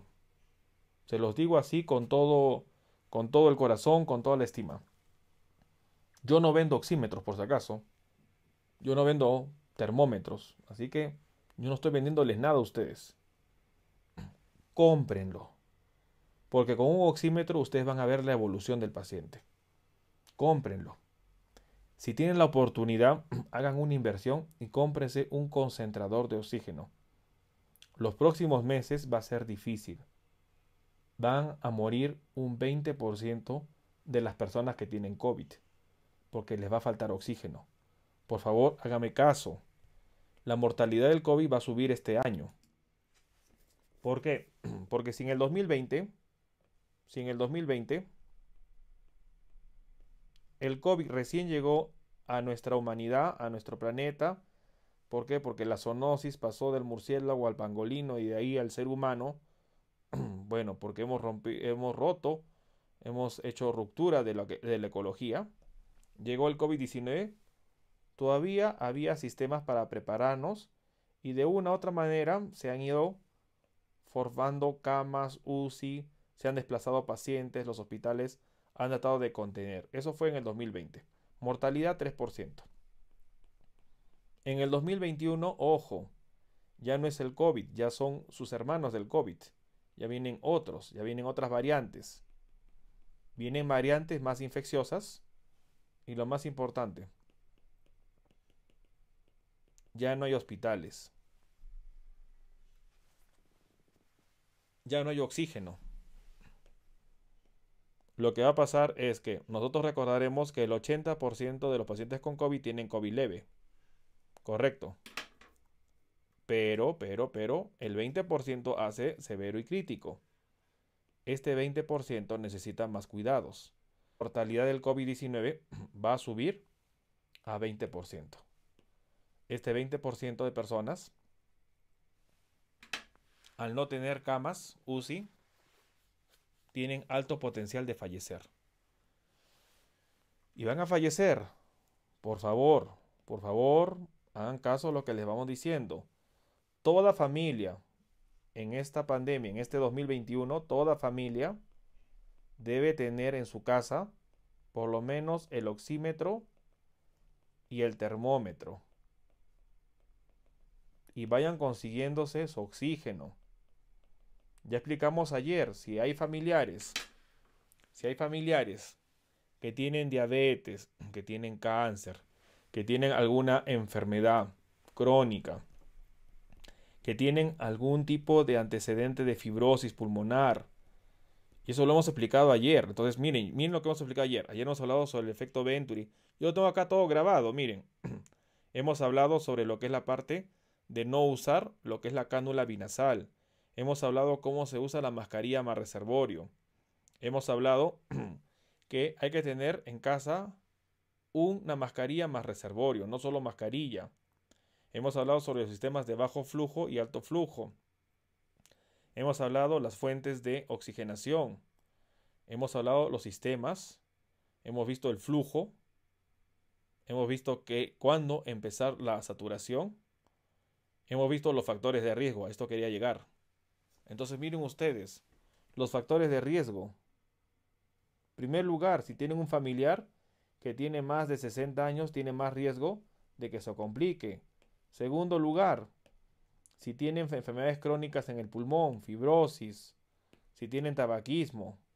En tercer lugar, si tienen diabetes o cáncer. En cuarto lugar, si tienen obesidad, y eso lo explicamos con el índice de masa corporal, que es igual a peso sobre talla al cuadrado. Y en un lugar también importante, si tienen hipertensión. Entonces, todo esto lo explicamos ayer. Si no lo vio el video, está grabado. Lo encuentran en el canal. Y ahí lo buscan, el video de ayer. De ayer, 17 de enero. Hoy estamos 18. Entonces, en el video de ayer hemos hablado todo, esto. Va a encontrar las láminas. Va a encontrar las respuestas que la, comunidad ha estado realizando. Entonces, es muy importante. Entonces explicamos nosotros todo este punto. Y todo esto ha sido para qué? Para entender cuáles son los pilares del tratamiento. Hay personas nuevas, no conocen sobre ello. No se preocupen, estamos acá para explicarles. Entonces miren ustedes. Entonces, cuando inicia el día 1, para evitar llegar al día 6, tenemos que conocer la información del paciente y tenemos que conocer la historia de la enfermedad. Y acá es donde nosotros iniciamos los pilares. ¿Qué son los pilares? Son las medidas que ayudan no a matar al virus, a evitar llegar a lo que es la complicación que es la neumonía. ¿Y cuáles son los pilares? Antibióticos para evitar las infecciones sobreagregadas con bacterias, lo que es la parte de corticoides para disminuir la inflamación y lo que es anticoagulación profiláctica porque se activa la cascada de la coagulación. y forma trombos en la parte pulmonar. Y esto hace que la neumonitis sea más grave y que el paciente no respire. Estos son los pilares. Y a estos son los tres primeros. Si el paciente baja la saturación, empieza el cuarto que es oxígeno. Entonces, ese es el cuarto pilar. El quinto ya es para pacientes más graves, inmunomodulación. Y el sexto ya es para pacientes que ya superaron la enfermedad, pero hay que tratar la fibrosis. Entonces, estos son los pilares del tratamiento que nosotros hemos recomendado para evitar las complicaciones del paciente. Entonces, es importante ir viendo ello para poder ayudar. Si usted no lo conocía, bueno, los invitamos a que puedan conocer. Nosotros hablamos todos los días, la comunidad sabe sobre este conocimiento, va entendiendo sobre todos estos datos y lo muy importante es que debemos nosotros entender. Así que a veces nosotros nos suscribimos para ver un meme, para ver lo que es la parte de un momento de ocio. Por si acaso acá nosotros compartimos información. Yo, hay, hay, hay, médicos que están haciendo y compartiendo información y los felicito y me da gusto. Igual también yo, como médico, estoy compartiendo el tiempo, la información. Así que, y además tengo un libro publicado sobre coronavirus. Es bienvenido a escuchar todas las charlas, a participar en las charlas, así que suscríbase al canal. Estamos compartiendo la información y de esta manera usted va a entender todo este punto que hacemos. No olvide darle un me gusta al video para que de esta manera, cuando nosotros hacemos otro video, automáticamente el sistema de YouTube le va a decir, ojo, el doctor está publicando otro video. Si usted se olvida, va a tener la notificación y le va a hacer recordar de que estamos publicando otro video. Entonces, en la parte inferior, no se olvide darle un me gusta. Cuando usted va a ver en un día que está viendo su YouTube, le va a indicar el doctor ha hecho una nueva transmisión en vivo y automáticamente usted va a ingresar y va a ver la transmisión en vivo. Entonces es interesante, importante ir viendo ello para que, miren, tenemos 1935. 1935, 65 me gustas y llegamos a 2000. Entonces vamos viendo ello y vamos trabajando. Mario nos dice, ¿el libro se aplica para las otras variantes? Claro que sí. Porque no estamos tratando el virus. Lo hemos dicho desde un inicio, el virus no tiene cura. Lo que hacemos nosotros es evitar las complicaciones. El paciente tiene que seguir aislado una vez que tenga que superar que esté con cinco días de tratamiento. Muy bien, a ver, Jesse nos dice, doctor, mi hermano tuvo COVID el 12, el 14 de diciembre. Y en enero la prueba negativa no trabajó hasta el sábado, ahora tiene dolor de cuerpo y cabeza. ¿Es normal? Es parte de lo que es síndrome post-COVID. Isabel, ¿por qué el virus muere en el cuerpo después de 14 días? No, cita Isabel. El virus no muere en 14 días. El virus en promedio muere en un mes los primeros estudios que se hicieron en, lo que es la parte de los pacientes con COVID encontraron pruebas moleculares con el virus vivo en las heces al mes. El virus no muere en 14 días. Entonces es el sistema inmunitario que el virus va a tratar de controlar y eliminarlo. Arlene nos dice, lo invitamos a que se unan pocos doctores, hacen lo que el doctor hace. Gracias, muy amable. Gracias Arlene por, por comentar ello. Y es verdad, están acá ustedes invitados, vamos a, a estar siempre publicando videos. Y por favor, quiero que se tomen ustedes en cuenta esto. Esto es lo más importante. Quiero que quede esto grabado. Esta es la base de evitar que el COVID cause más muertes.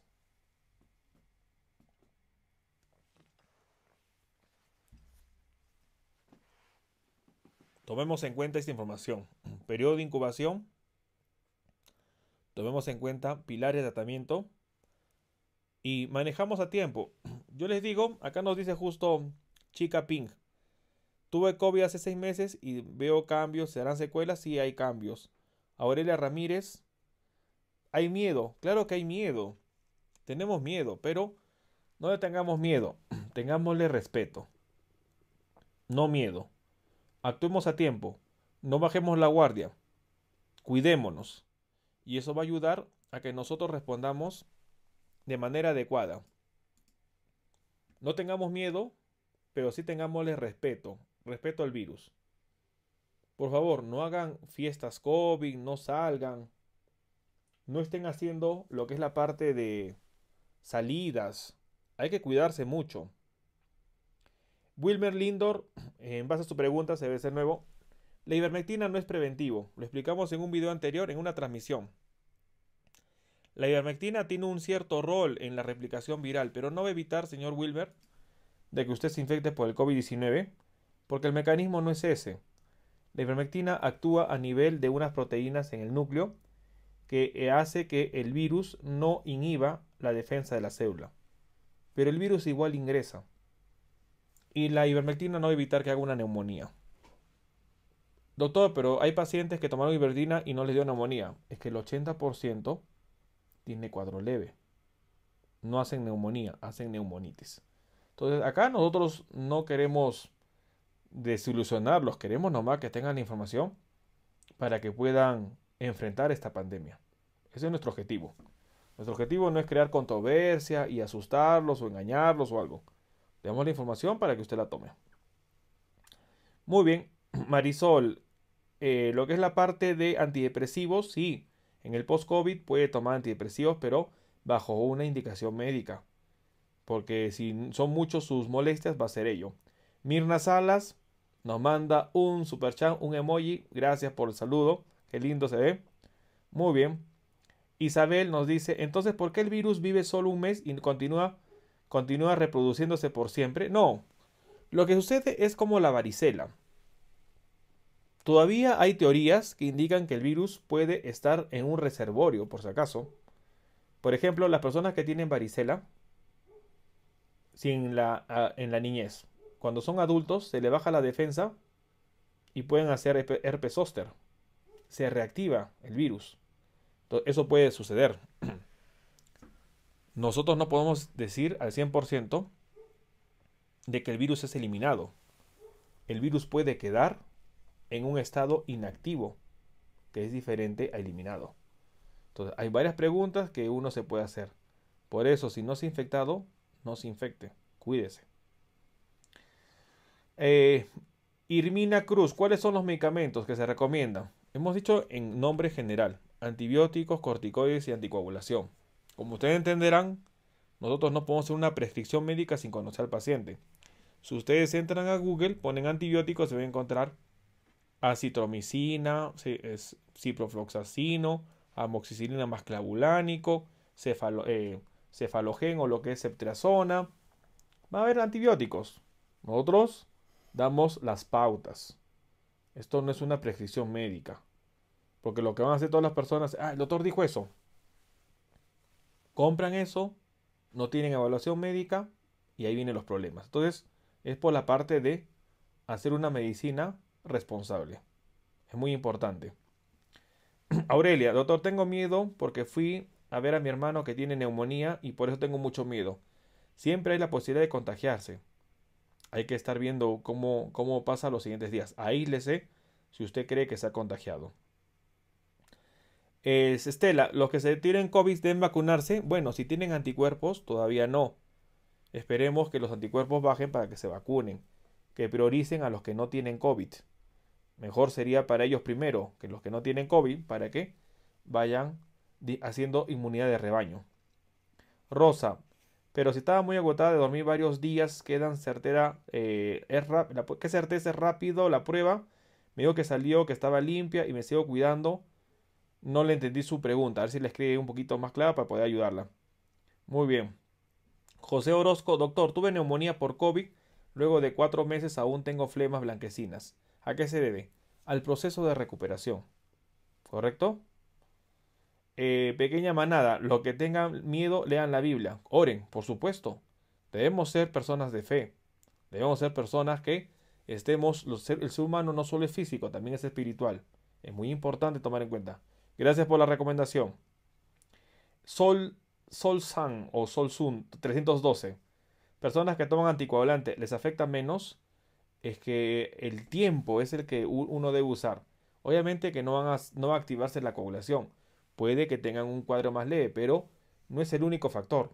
El virus causa un daño pulmonar y las bacterias causan una neumonía. Entonces no necesariamente el que tenga anticoagulante va a tener un cuadro más leve. ¿Correcto? María Esther, una crisis convulsiva puede corresponder a un cuadro atípico, es poco frecuente, pero recordemos que a veces la fiebre, sobre todo en niños, puede causar convulsiones. Pero un cuadro convulsivo no necesariamente sea un cuadro atípico, al menos que tengamos unos, una semana previa de cuadros de resfrío. Ahí sería uno de los primeros casos en reportar, pero hay que tener en cuenta ello. Elisa García, plaqueta baja, eso se llama trombocitopenia. Hay que buscar la causa. Puede ser por una hiperesplenismo, un vaso grande, puede ser por un, lo que es la parte de un poco desarrollo de plaquetas, como una mieloptisis o un trastorno a nivel de la médula ósea. Muy bien. Eh, Leona, fe, fe, fe, claro que tener fe. Karen ¿cómo saber si el dolor de espalda y cuerpo puede encontrarse dentro del periodo de incubación? Es por los otros síntomas. Periodo de incubación es resfrío. Si a su dolor de espalda se asocia agotamiento, cansancio, escalofríos, malestar general, dolor de rodillas, dolor de garganta, es periodo de incubación. ¿Correcto? Patricia, doctor, gracias a Dios que usted está como toda maravillosa información es lo mejor, gracias. No, al contrario, gracias a ustedes. Miren, 2.300 personas reunidas en este momento. Pepe Barrera, hola doctor, si una prueba de antígenos es positivo, ¿existe la posibilidad de equivocarse? No, ya lo mencionamos en varios videos atrás.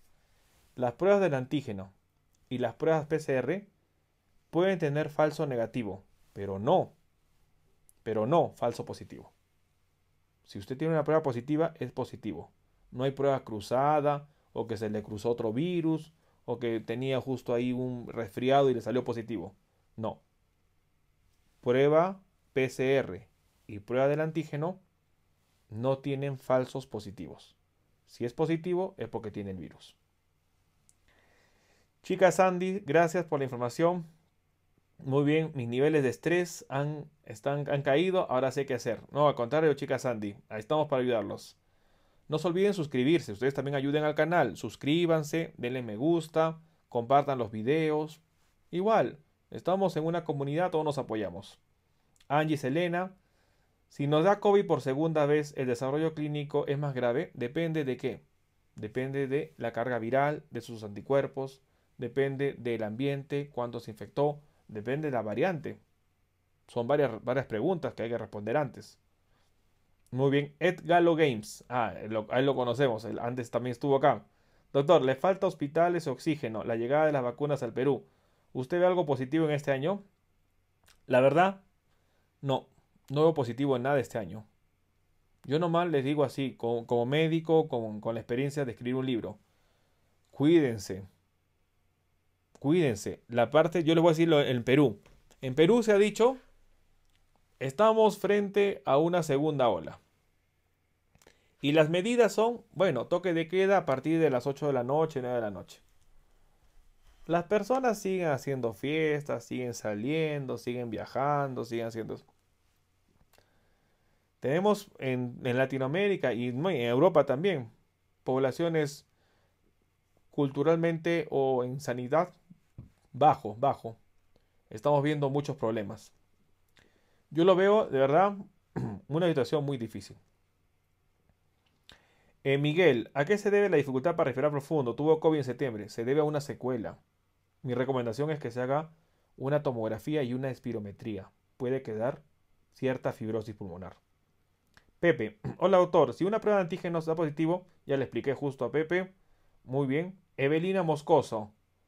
Ah, bueno, a ver. Break, Breakser, doctor. Si yo voy en el día 15 del inicio de los síntomas de COVID, pero oxígeno entre 88 y 92, ¿estoy salvado o todavía no? Bueno, depende, señor, eh, bueno, Breakser, si usted, si usted perdió el olfato, hay que ver a qué llama usted 15 días del inicio de síntomas, porque para usted 15 días podría ser podría ser el, el cuadro de periodo de incubación. Si usted perdió el olfato, si usted perdió el olfato, a partir de ese día cuente los días. Si usted perdió el olfato y pasaron 10 días, ya pasó la neumonía, está con la secuela. Tranquilo.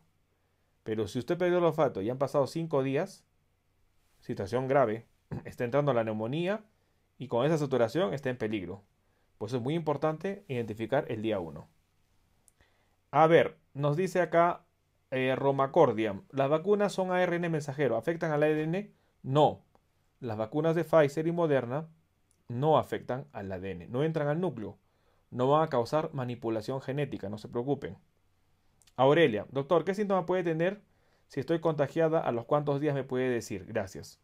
Bueno, si usted se contagió, a los 7 días puede presentar cuadro clínico. Perder olfato, gusto, diarrea, fiebre. Juan Pablo, tuve una, leve irritación en la garganta como un antiséptico con ibuprofeno, me dio la doctora y se me quitó y la prueba salió negativo. ¿Qué prueba se hizo? Hemos dicho en la comunidad que hay que indicar la prueba. Si se ha hecho una prueba de anticuerpos, una serológica o una indirecta, le va a salir negativo y tiene COVID. Tenga cuidado. Gladys, bueno, no dice qué pasó, no sé. Angie, doctor, por favor, ¿puede indicar qué puedo hacer si después de cuatro meses tengo dolor de espalda y poco olfato? El olfato no lo va a recuperar probablemente y el dolor de espalda puede ser por la secuela que ha dejado el pulmón. Tiene que hacerse una tomografía. Angie, una persona con cuadro atípico no desarrolla pérdida del olfato en el día 1. No, por eso es cuadro atípico. Por eso es cuadro atípico. Entonces, por eso es muy importante. Una persona con cuadro atípico no desarrolla pérdida del olfato. Si no, sería cuadro típico. Una persona que. Entonces, una persona que tiene cuadro atípico no pierde el olfato. Es muy importante. Alejandra, doctor, ¿la persona hipertensa podrá vacunarse? Por supuesto. No tiene ninguna contraindicación. Jimena, doctor, ¿qué pasa cuando necesito un respirador? Es porque su pulmón está afectado. Necesita porque el oxígeno es necesario. Elvis, soy alérgico a los medicamentos como AINES. ¿Puedo usar la vacuna de Pfizer? Sí. Rodrigo, buenas noches. Me vacuné contra la influenza. Yo también lo hice. Muy bien, lo he hecho muy bien y me dio gripa. Bueno, eso es periodo de, eso es lo que es la parte de reactivación de la respuesta inmunitaria innata. Es parte del cuadro. Y el gusto desde hace tres meses no lo recupero. Entonces, señor, usted no, usted se ha, infectado de COVID. La vacuna de la influenza no le, no le produce pérdida del olfato. Usted es infectado de COVID. Hágase una prueba de anticuerpos y si sale positiva, ha tenido COVID. Mirna. Doctor, soy Mirna Salas y tengo COVID. Me consulté con usted la semana pasada. Estoy bien, gracias a toda la información que nos comparte. Lo bendigo, todo su conocimiento.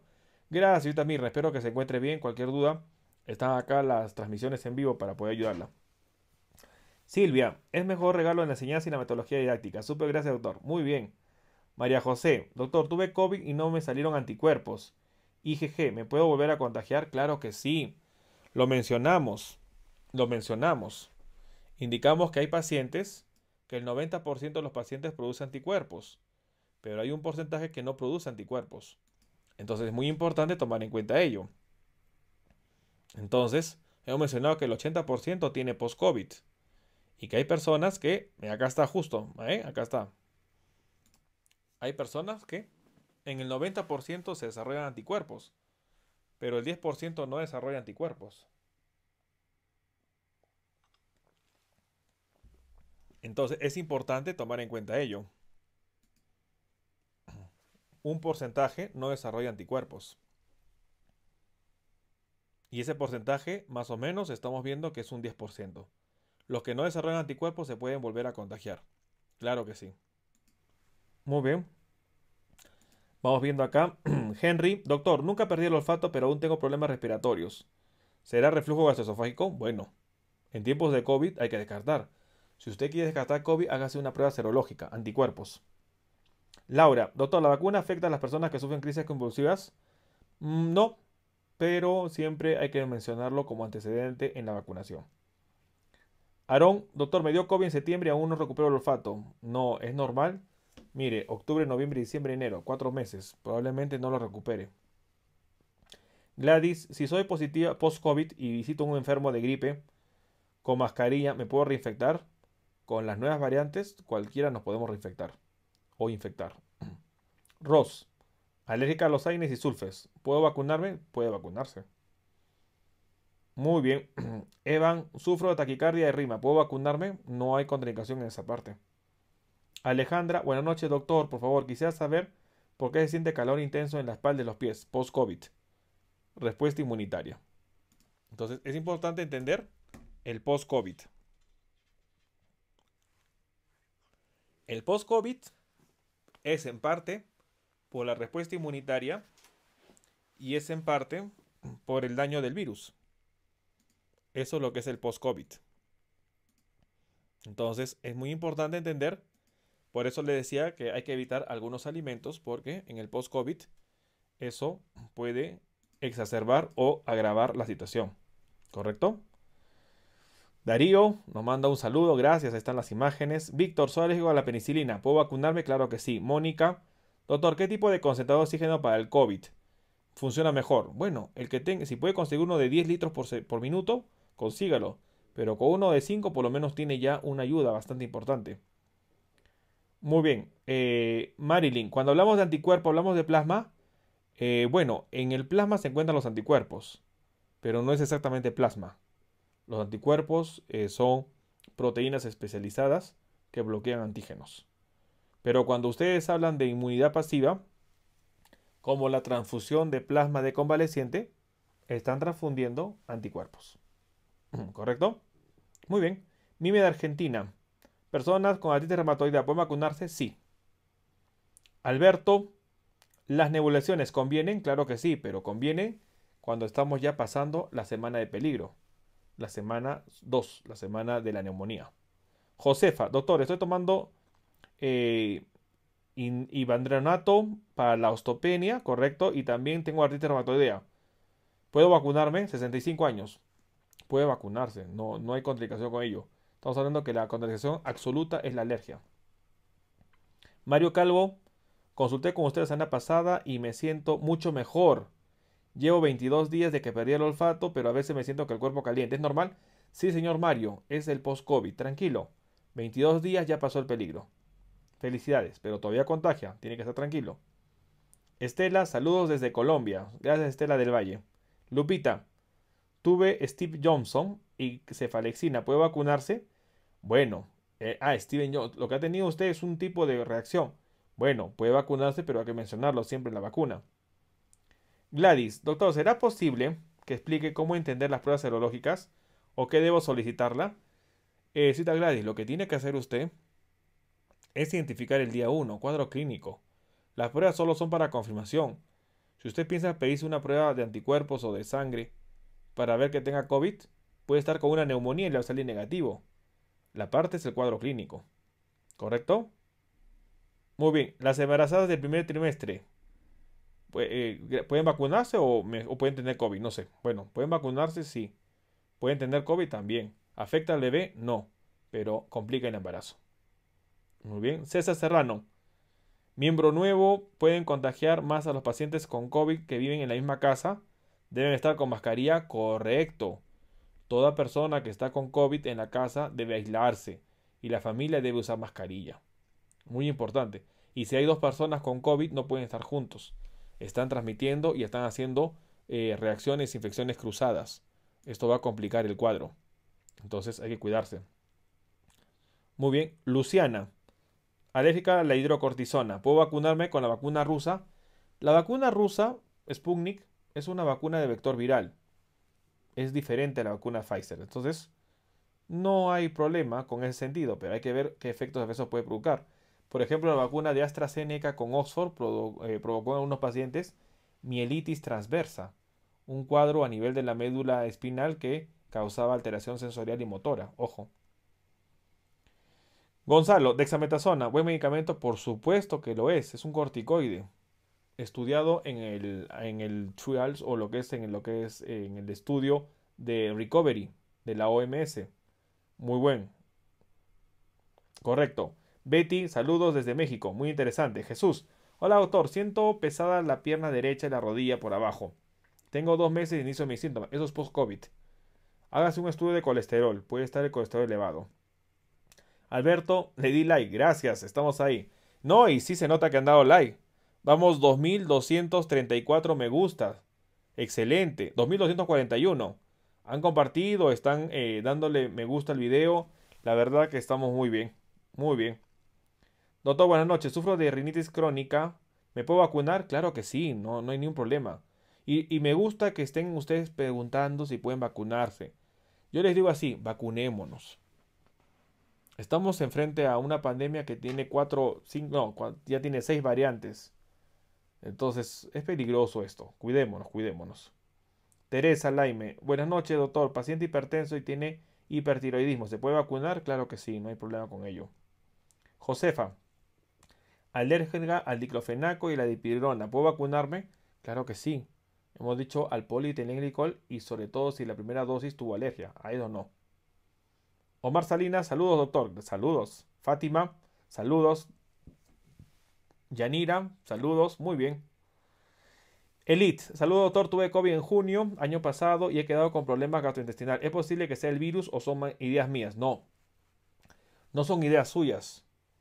Eh, son secuelas que deja el virus. Han pasado seis meses puede quedar molestias gastrointestinales. ¿Correcto? Doctor, ¿cómo antibiótico sirve, como antibiótico sirve la doxiciclina? Eh, recordemos, yo les voy a ayudar en algo. Cuando busquen un antibiótico, busquen un antibiótico que haga efecto a vías respiratorias. La doxiciclina es un antibiótico que ayuda generalmente a infecciones genitales urológicas. No va a ayudar mucho busquen siempre algún antibiótico para vías respiratorias. Ahí van a encontrar acitromicinas, cefalosporinas, lo que es la parte de algunos derivados de los betalactámicos. Entonces hay que buscar eso. Las vacunas chinas son buenas, publicamos un video. Son agentes virales atenuados y provocan inmunidad entrenada. Importante. Muy bien. Bueno, son las 10 y 37. Nos hemos quedado prácticamente dos horas. Hoy era una hora, pero de verdad con todas las personas que han estado presentes, les doy las gracias. Mañana vamos a hacer otra transmisión en vivo, así que si usted desea, los invitamos a que estén presentes. Bueno, las preguntas que no hemos respondido, mañana vamos a estar respondiendo. Acuérdense que estamos haciendo transmisión todo el tiempo, así que saludamos a todas las personas que están conectadas. Bueno, quiero que como siempre, nos demos una palma, todos nosotros hemos aprendido, a ver si nos damos una palma, muestren ahí a la comunidad como ustedes, así, vamos dando una palma, hemos aprendido hoy día bastante, agradecido con ustedes, hemos estado acá presentes, vamos dando entonces, por favor, así las palmas, un saludo a todos ustedes, no olviden suscribirse al canal, vamos a estar compartiendo, tenemos acá toda la información, estoy haciendo la página web, va a estar los artículos que voy a publicar. Voy a publicar de parte del libro. Estoy sacando artículos para que estén en la página web. Entonces, ahí está la página web que estoy implementándola. Yo la estoy haciendo por si acaso. Entonces, estamos ahí con la página web. Y no se olviden suscribirse al canal. Suscríbanse al canal. Van a tener ahí todas las notificaciones, informaciones. Bueno, familia. Bueno, comunidad. Porque son también familia. Les agradezco por estar acá presentes. No lo duden, vamos a estar acá nosotros aprendiendo. Mediante Dios mediante, vamos a estar acá nosotros apoyándolos, estando acá dando información.